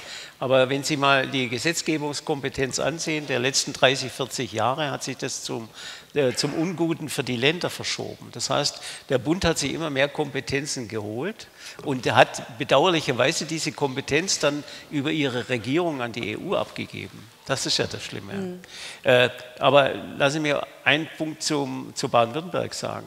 Äh, das, was der Kollege gesagt hat, äh, findet tatsächlich statt. Der Wettbewerb reguliert die Märkte. Und Baden-Württemberg ist ein guter Seismograph dafür. Ich erinnere an die äh, Weltwirtschaftskrise 2008. Da ist die, das Rating von Baden-Württemberg von AAA abgestürzt auf A. Und ich habe die Befürchtung, dass es noch schlimmer wird. Ich habe die Befürchtung, dass wir die Innovationskraft schon lange verloren haben. Denken Sie mal daran, dass Bayern uns schon in den äh, Patentzulassungen mehr oder weniger überholt hat. Und wir nicht mehr das Tüftler- und Erfinderland sein, das uns jeden Tag äh, mehr oder weniger versprochen wird. Die haben uns nicht nur im Bruttoinlandsprodukt überholt, sondern auch bei den Innovationen. Also wir sind Seismograph, weil wir eigentlich auch durch unsere Schlüsselindustrie sehr anfällig sind sehr anfällig sind. Wenn dann das eintritt in der äh, Medizinindustrie, dann wird es dann nochmal schwieriger werden äh, für uns allesamt. Aber in der Tat ist es so, dass wir weniger Einfluss haben und die reklamieren wir auch stark in diesem Parlament. Mhm. Wir stimmen nicht zu, wir widersprechen. Deshalb kriegen wir auch wenig, äh, sagen wir mal, Zustimmung. Es äh, ist nur bedauerlicherweise, dass wir über die Medien nicht nach außen dringen. Deshalb sind solche Veranstaltungen für uns notwendig, damit wir das transportieren in das Bewusstsein hinein. Wir sind keine Rassisten oder plumpe, dumpfe Nazis, sondern wir sprechen die Punkte an, die es zu bewältigen gibt. Die Herausforderungen nehmen wir an, ob das im Klimabereich ist oder äh, im Bereich der technischen Innovationen. In beiden Bereichen leugnen wir weder die Zustände, sondern wir sagen, wie können wir sie bewältigen und in welchem Zeitablauf können wir sie bewältigen. Wie ist dieser machbar, dieser Umbau dieser Industrien, äh, dieser Technologien, wie ist der machbar und wie können wir ihn bewältigen. Das bewegt uns allesamt und sehr ernsthaft. Daran arbeiten wir und da nehmen wir die Interessen der Baden-Württemberger wahr.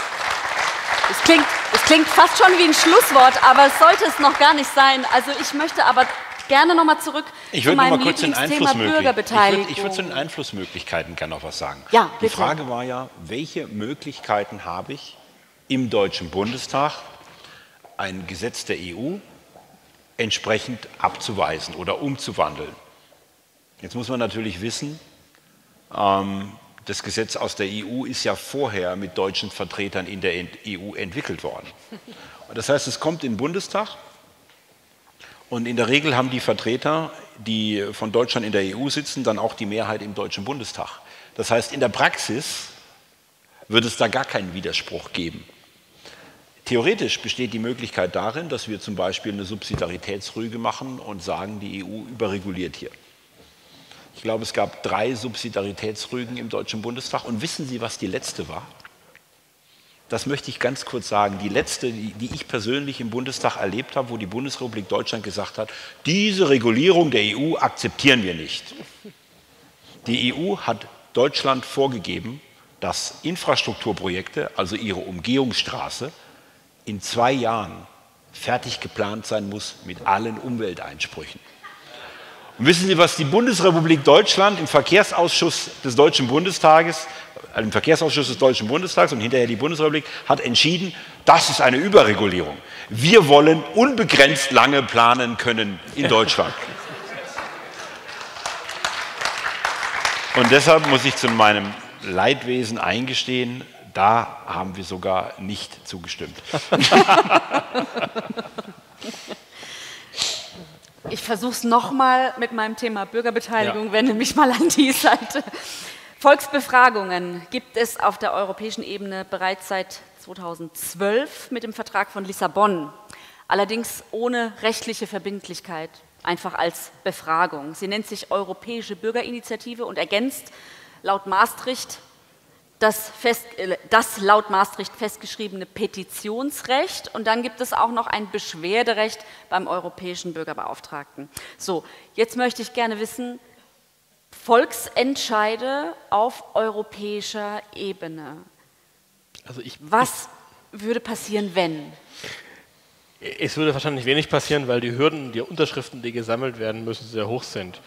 Und im Übrigen ist es immer so. Ja, äh, Referenten, äh, zum Beispiel verpflichtende Referenten. Bei, bei genau, die Frage ist tatsächlich, ob wir es wollen, notwendig. dass eine Mehrheit, äh, sagen wir mal, der Mittelmeerländer für die ganze EU beschließt, was rauskommen soll. Ja.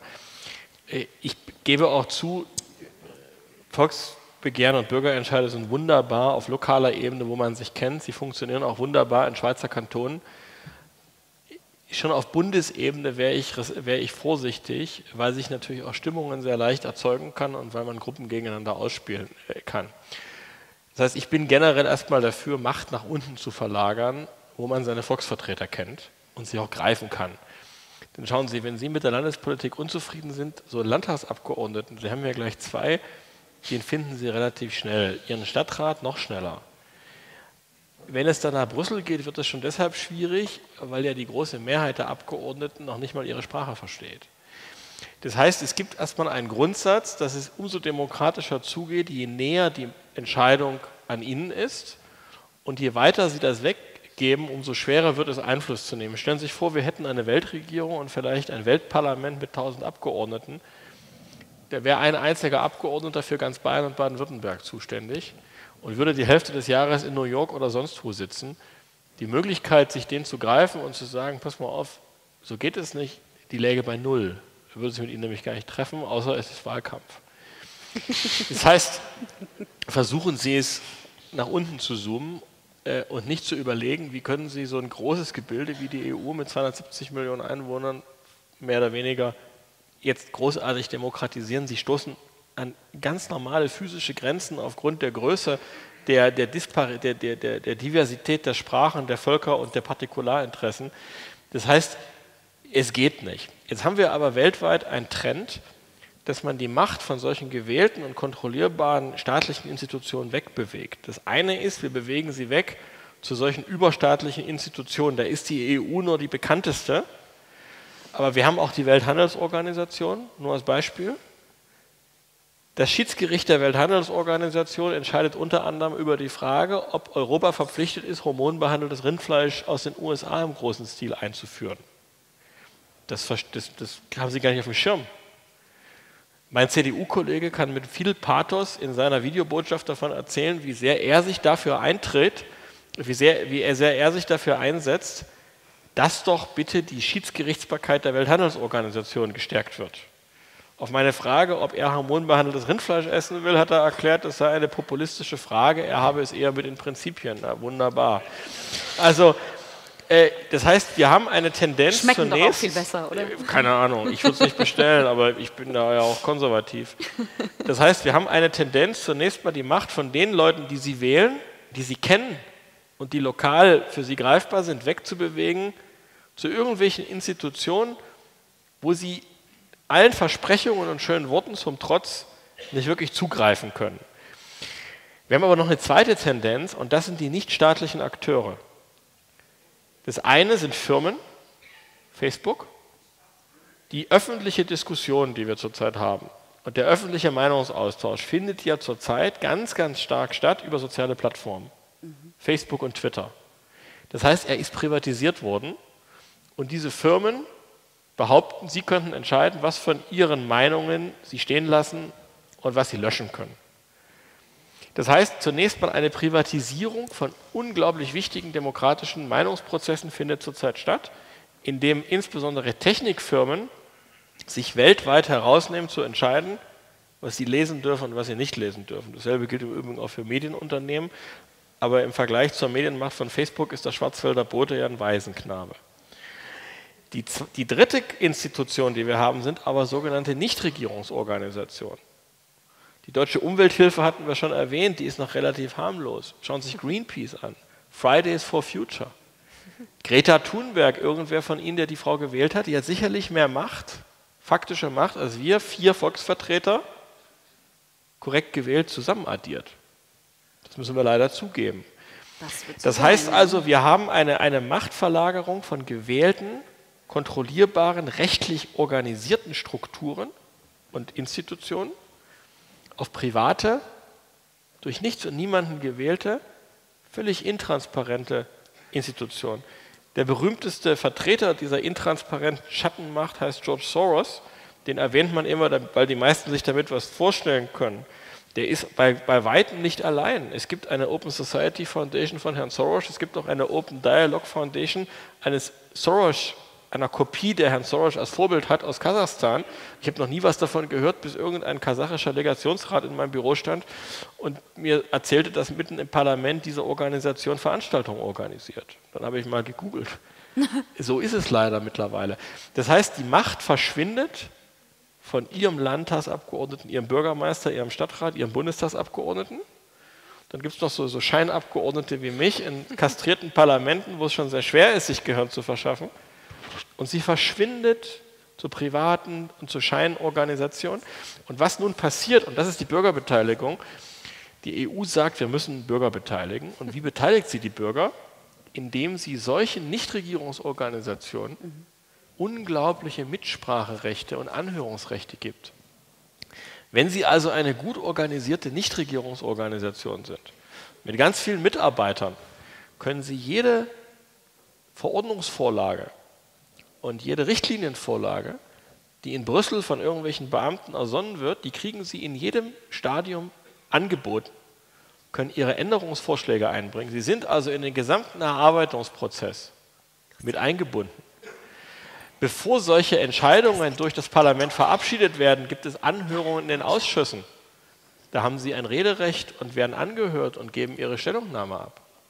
Das heißt also, die Macht von der Sie noch glauben, das ist alles so schön, wie es im Grundgesetz und in der Verfassung von Baden-Württemberg beschrieben ist. Das geht vom Volke aus in Wahlen und Abstimmungen durch ihre gewählten Repräsentanten.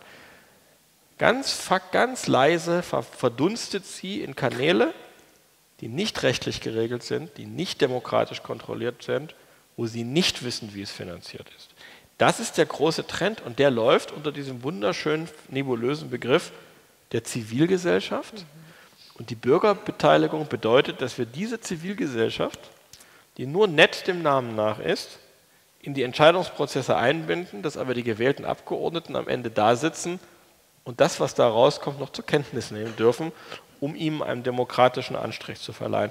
Und das ist ein globaler Trend, Und den müssen wir umdrehen. Und das ist dasselbe. Wir müssen also nicht nur schauen, dass wir Kompetenzen von der EU wieder zu ihren gewählten Repräsentanten zurückholen, sondern wir haben mittlerweile ein G7 oder G8-Sekretariat, wir haben ein G20-Sekretariat, wir haben lauter UNO-Unterorganisationen, wir haben ein Weltklimaabkommen äh, geschlossen in Paris, das ihr gesamtes Leben neu regeln wird und wo man nicht austreten kann, außer man ist die USA und macht es einfach. Das heißt, sie haben ein, eine, ein, ein Dickicht an solchen halbstaatlichen, überstaatlichen oder ganz privaten Akteuren, teilweise Unternehmen, teilweise Vereinen, die Macht ausüben. Und es ist sehr schwer, hierauf einzugreifen, weil dazu kommt, dass der Staat dieses Dickicht auch noch mit Geld fördert und mit Rechten fördert. Das heißt also, die demokratische Mitsprache, das, was uns eigentlich unter Bürgerbeteiligung vorschwebt, das verdunstet langsam. Mhm. Und wie gehen wir es um? Meines Erachtens eben nur darin, dass wir, die, dass wir es wieder dahin, dass wir die Entscheidungsbefugnis so nah zu ihnen zurückholen, dass sie es durchschauen können, weil sie es quasi noch fast physisch greifen können. Und nun gibt es das große Gegenargument, das uns immer entgegenschwappt, die AfD hätte auf die großen, komplexen Probleme der Welt immer nur so schrecklich einfache Antworten. Und wissen Sie, Komplexität beantworten Sie nicht mit noch größerer Komplexität. Wenn Sie ein komplexes Problem mit komplexen Lösungen lösen wollen, dann haben Sie das deutsche Steuerrecht. ähm, Sie, das Sie niemand lösen, kopieren möchte. Sie lösen ein komplexes Problem darin, dass Sie, dass Sie Komplexität reduzieren. Weil wenn Sie die Komplexität reduzieren, wird das Problem für Sie erfassbar. Und nur ein erfassbares Problem ist ein lösbares Problem.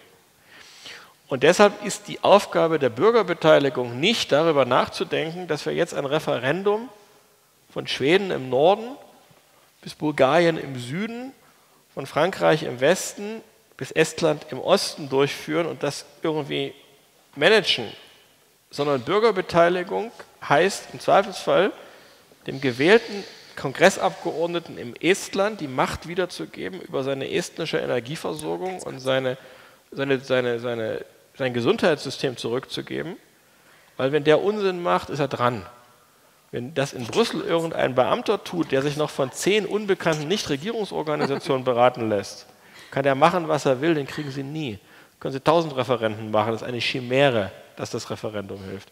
Und deshalb Komplexität reduzieren, Macht dezentralisieren, Macht nach unten durchgeben und dann da unten wissen, wen man sich als Volksvertreter aussucht bitte nur Leute, die Sie kennen, die mal eine Ausbildung abgeschlossen haben, die in einem Beruf.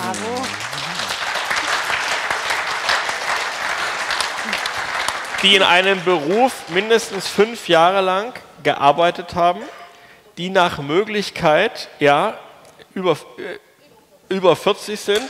Und Kinder haben. Äh, sehr schön ist es auch, wenn sie in stabilen, Lebens-, in Familie, stabilen Familienverhältnissen leben. Und wenn man anhand der Kinder sieht, ob sie imstande sind, sich und ihre Familie zu ernähren, zu waschen und einer geregelten Arbeit nachzugehen, meine Damen und Herren, mit dieser Aufforderung, mit diesen Kriterien gäbe es in Deutschland die Grünen nicht, was ein großer Gewinn wäre.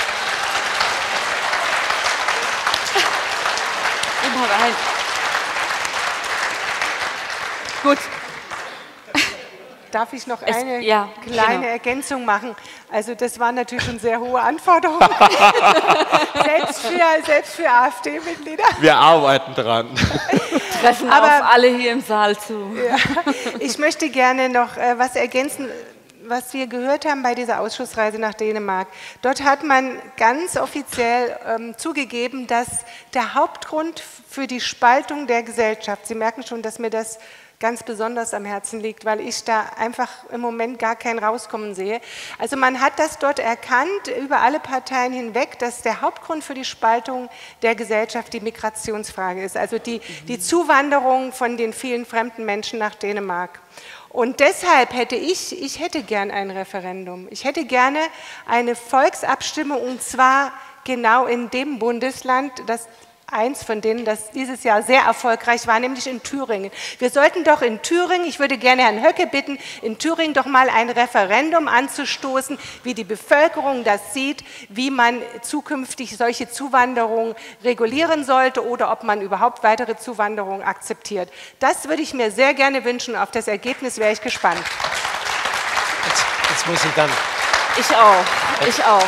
es kommt, Herr, Herr Sense, wollen Sie auch noch? Ich, ich muss noch eins sagen, weil wir, wir, haben ja Gegenpole. Wir haben äh, an unserer Südgrenze in Baden-Württemberg ein erfolgreiches Land, das Volksabstimmungen eigentlich zum Wohl der Bevölkerung ja, ja, das Argument kommt immer, aber ich sage dann, antworte dann auch immer, es gibt heute modernere Arten, als auf sich auf dem äh, Marktplatz zu treffen, um das Plebiszit einzuholen.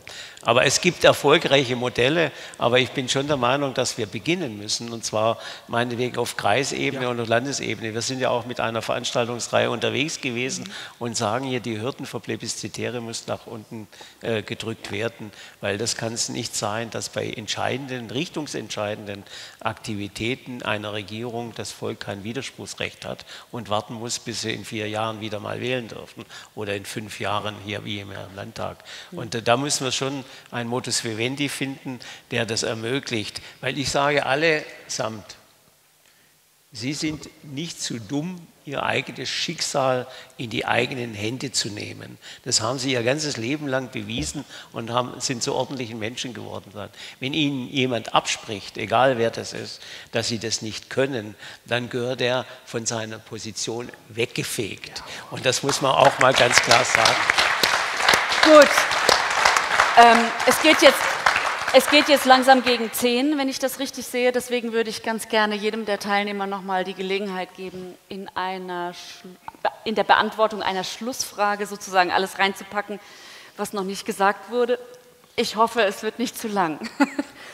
Ähm, verbinden möchte ich das mit noch einer ähm, Zuschauerfrage. Ein Dexit ist nach aktueller politischer Lage ausgeschlossen, schreibt einer unserer Gäste. Frage, was müsste passieren, damit es zu einem Dexit kommen könnte?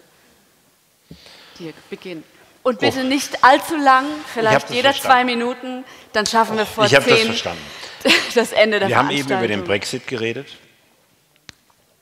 Ähm, zunächst einmal muss es, um einen Dexit in Deutschland zu ermöglichen, den klaren Willen einer Mehrheit dieser Gesellschaft geben, genau das zu machen. Und gleichzeitig, ich meine, es ist ja äh, theoretisch, du hast gesagt, es ist theoretisch, ähm, aber ich sehe es nicht nur als theoretisch an, sondern wenn die Mehrheit dieser Bevölkerung das will, dann muss die Regierung dieses Landes einen Weg finden. Und ich kann versprechen, wenn die AfD oder ich ein Teil äh, dieser Mannschaft sein wird, die das dann zu entscheiden hat, ich kann ja nicht für andere sprechen, aber ich kann äh, versprechen, dass ich mich dafür einsetzen werde, dann werden wir das, was möglich ist, auch tun, um das umzusetzen, wenn das ihr Wille ist. Wir müssen aber, und das muss man auch ehrlicherweise sagen, wir müssen vorher klären, was sind die genau die Bedingungen, die wir nach einem potenziellen Dexit haben und was sind die Bedingungen, die wir, ohne dass wir den Dexit-Schritt wirklich machen, in der EU noch erreichen können. Und das muss geklärt werden. Mhm. Und deshalb ist mir ganz wichtig, wir machen keine unvernünftige Politik, nur um anders zu sein wir machen diese Politik, die uns nützt und deshalb müssen wir, bevor wir über einen Dexit tatsächlich reden in diesem Land, müssen wir klar formulieren, was wollen wir geändert haben in der EU und es muss auch klar sein, bei wie viel von diesen Änderungswünschen sind wir dann zufrieden. Und wenn dann rauskommt, wir können das nicht, dann bin ich mir ganz sicher, dann werden wir auch diese Mehrheit der Bevölkerung in diesem Land hinter diese Idee eines Dexit kriegen. Und dann, wenn der politische Wille da ist, dann werden wir einen Weg finden, das zu machen. Danke. Jetzt hat mein Kollege schon viele äh, Fragen beantwortet, aber ich, äh, äh, ich, ich, würde mal sagen, wir stehen vor zwei ganz großen Herausforderungen. Einmal äh, vor der Währungsherausforderung. Es steht zu befürchten, dass der EU in den nächsten kommenden Jahren zusammenbricht. Der Euro. Mhm. Der Euro, ja. der Euro zusammenbricht. Und es steht dann zu befürchten, dass die EU in ihren Kernmannschaften äh, sich einem Dexit, in dem Falle vielleicht äh, einem ich weiß nicht, wie man es Italien sagt oder, oder, Spanien nicht, also Spexit vielleicht nicht, äh, eher nähert, weil die Bevölkerung. Äh, vielleicht sagen die dann einfach Ole. Ole, ja, Caramba, Ole. Ne? Also äh, die Ereignisse werden uns überholen. Da bin ich äh, voll davon überzeugt, zutiefst überzeugt. Auch der Erfolg Großbritanniens wird äh, ein weiterer Impuls sein, für andere Gesellschaften darüber nachzudenken, ob die EU in ihrer heutigen Form so fortbestehen kann. Äh, dieser Prozess hat schon begonnen mit den konservativen Parteien, die jetzt neu in dieses Parlament eingezogen sind, auch in das EU-Parlament. Die sind nicht aufzuhalten. Es gibt manchmal ein leichtes Tief, aber es wird sehr schnell aufgrund der Verordnungen und der Restriktionen, die jetzt eingeführt werden, in diesem Labor EU. Nicht? Das ist ja ein Versuch wir sind ja alle zusammen in vitros. Nicht? Wir werden, mit uns wird, werden Tests gefahren, die ein vernünftiger Mensch gar nicht begeht. Und deshalb äh, bin ich der Meinung, die AfD sollte auf jeden Fall mit der Ultima Ratio Dexit immer wieder drohen, um die zur Besinnung zu bringen, um mit legalen Mitteln das zu verhindern. Das ist meine tiefste Überzeugung. Okay. Als freiheitliebender Mensch, dem Souveränität, Unabhängigkeit und Selbstbestimmung wichtig sind, das Wichtigste überhaupt, wäre mir ein Dexit heute lieber als morgen. Wenn man allein sieht, äh, wo, wenn man nur betrachtet, wohin die EU uns bringt, zum Beispiel mit dem Migrationspakt. Also ich kann mir eine schlimmere Entwicklung als mit der EU überhaupt nicht vorstellen. Also ich glaube, so gefährlich kann das Experiment Dexit überhaupt nicht werden, als das, was jetzt noch auf uns zukommen wird.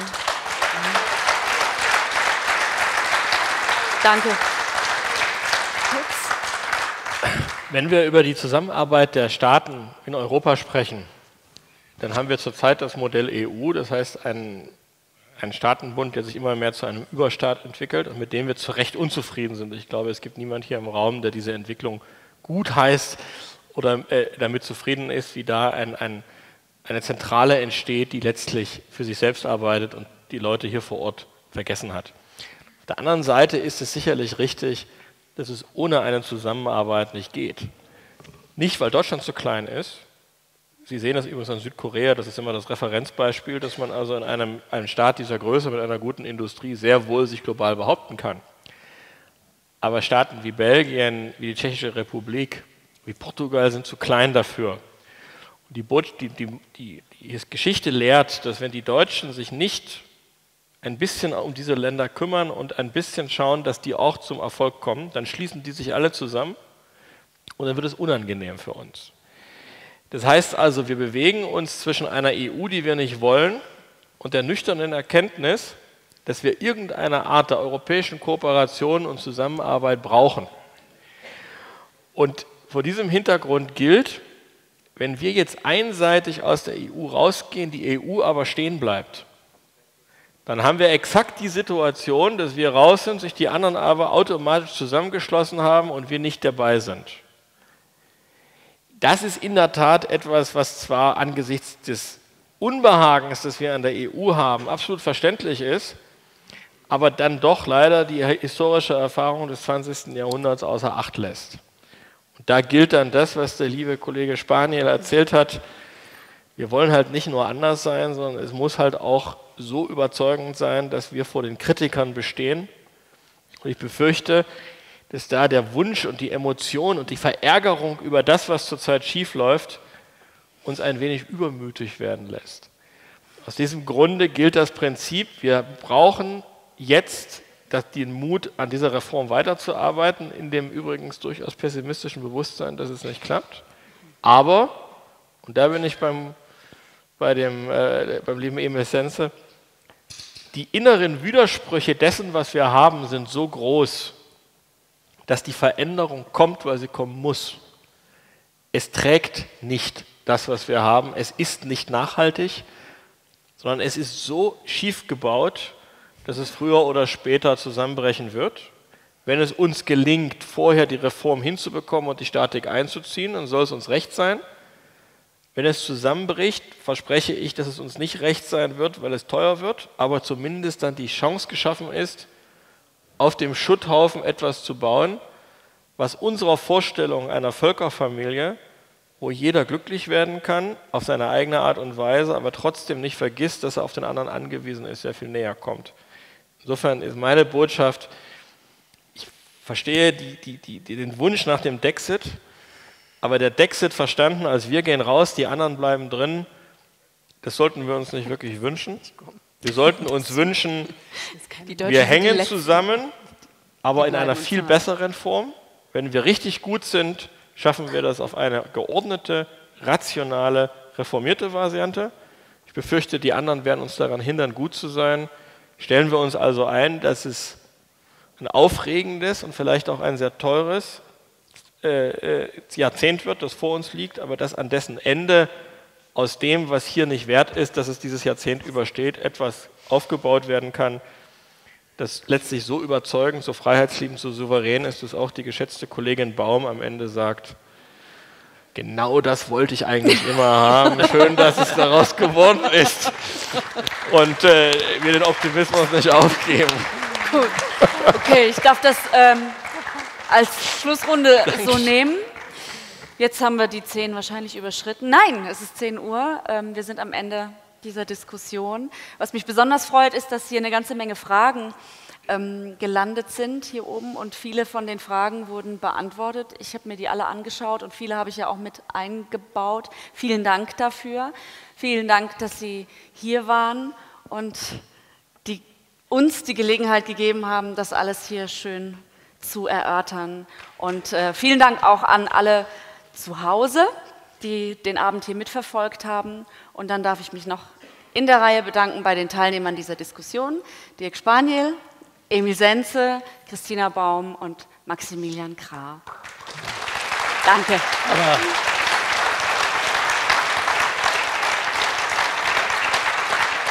Schön. Wir, wir wollen ja nicht vergessen, wir wollen ja nicht vergessen, uns bei der Moderatorin zu bedanken. Eine, die AfD-Abgeordnete ausreden lässt. Ja, genau. Das ist ein No. Vielen Dank, Christiane Christen. Gerne.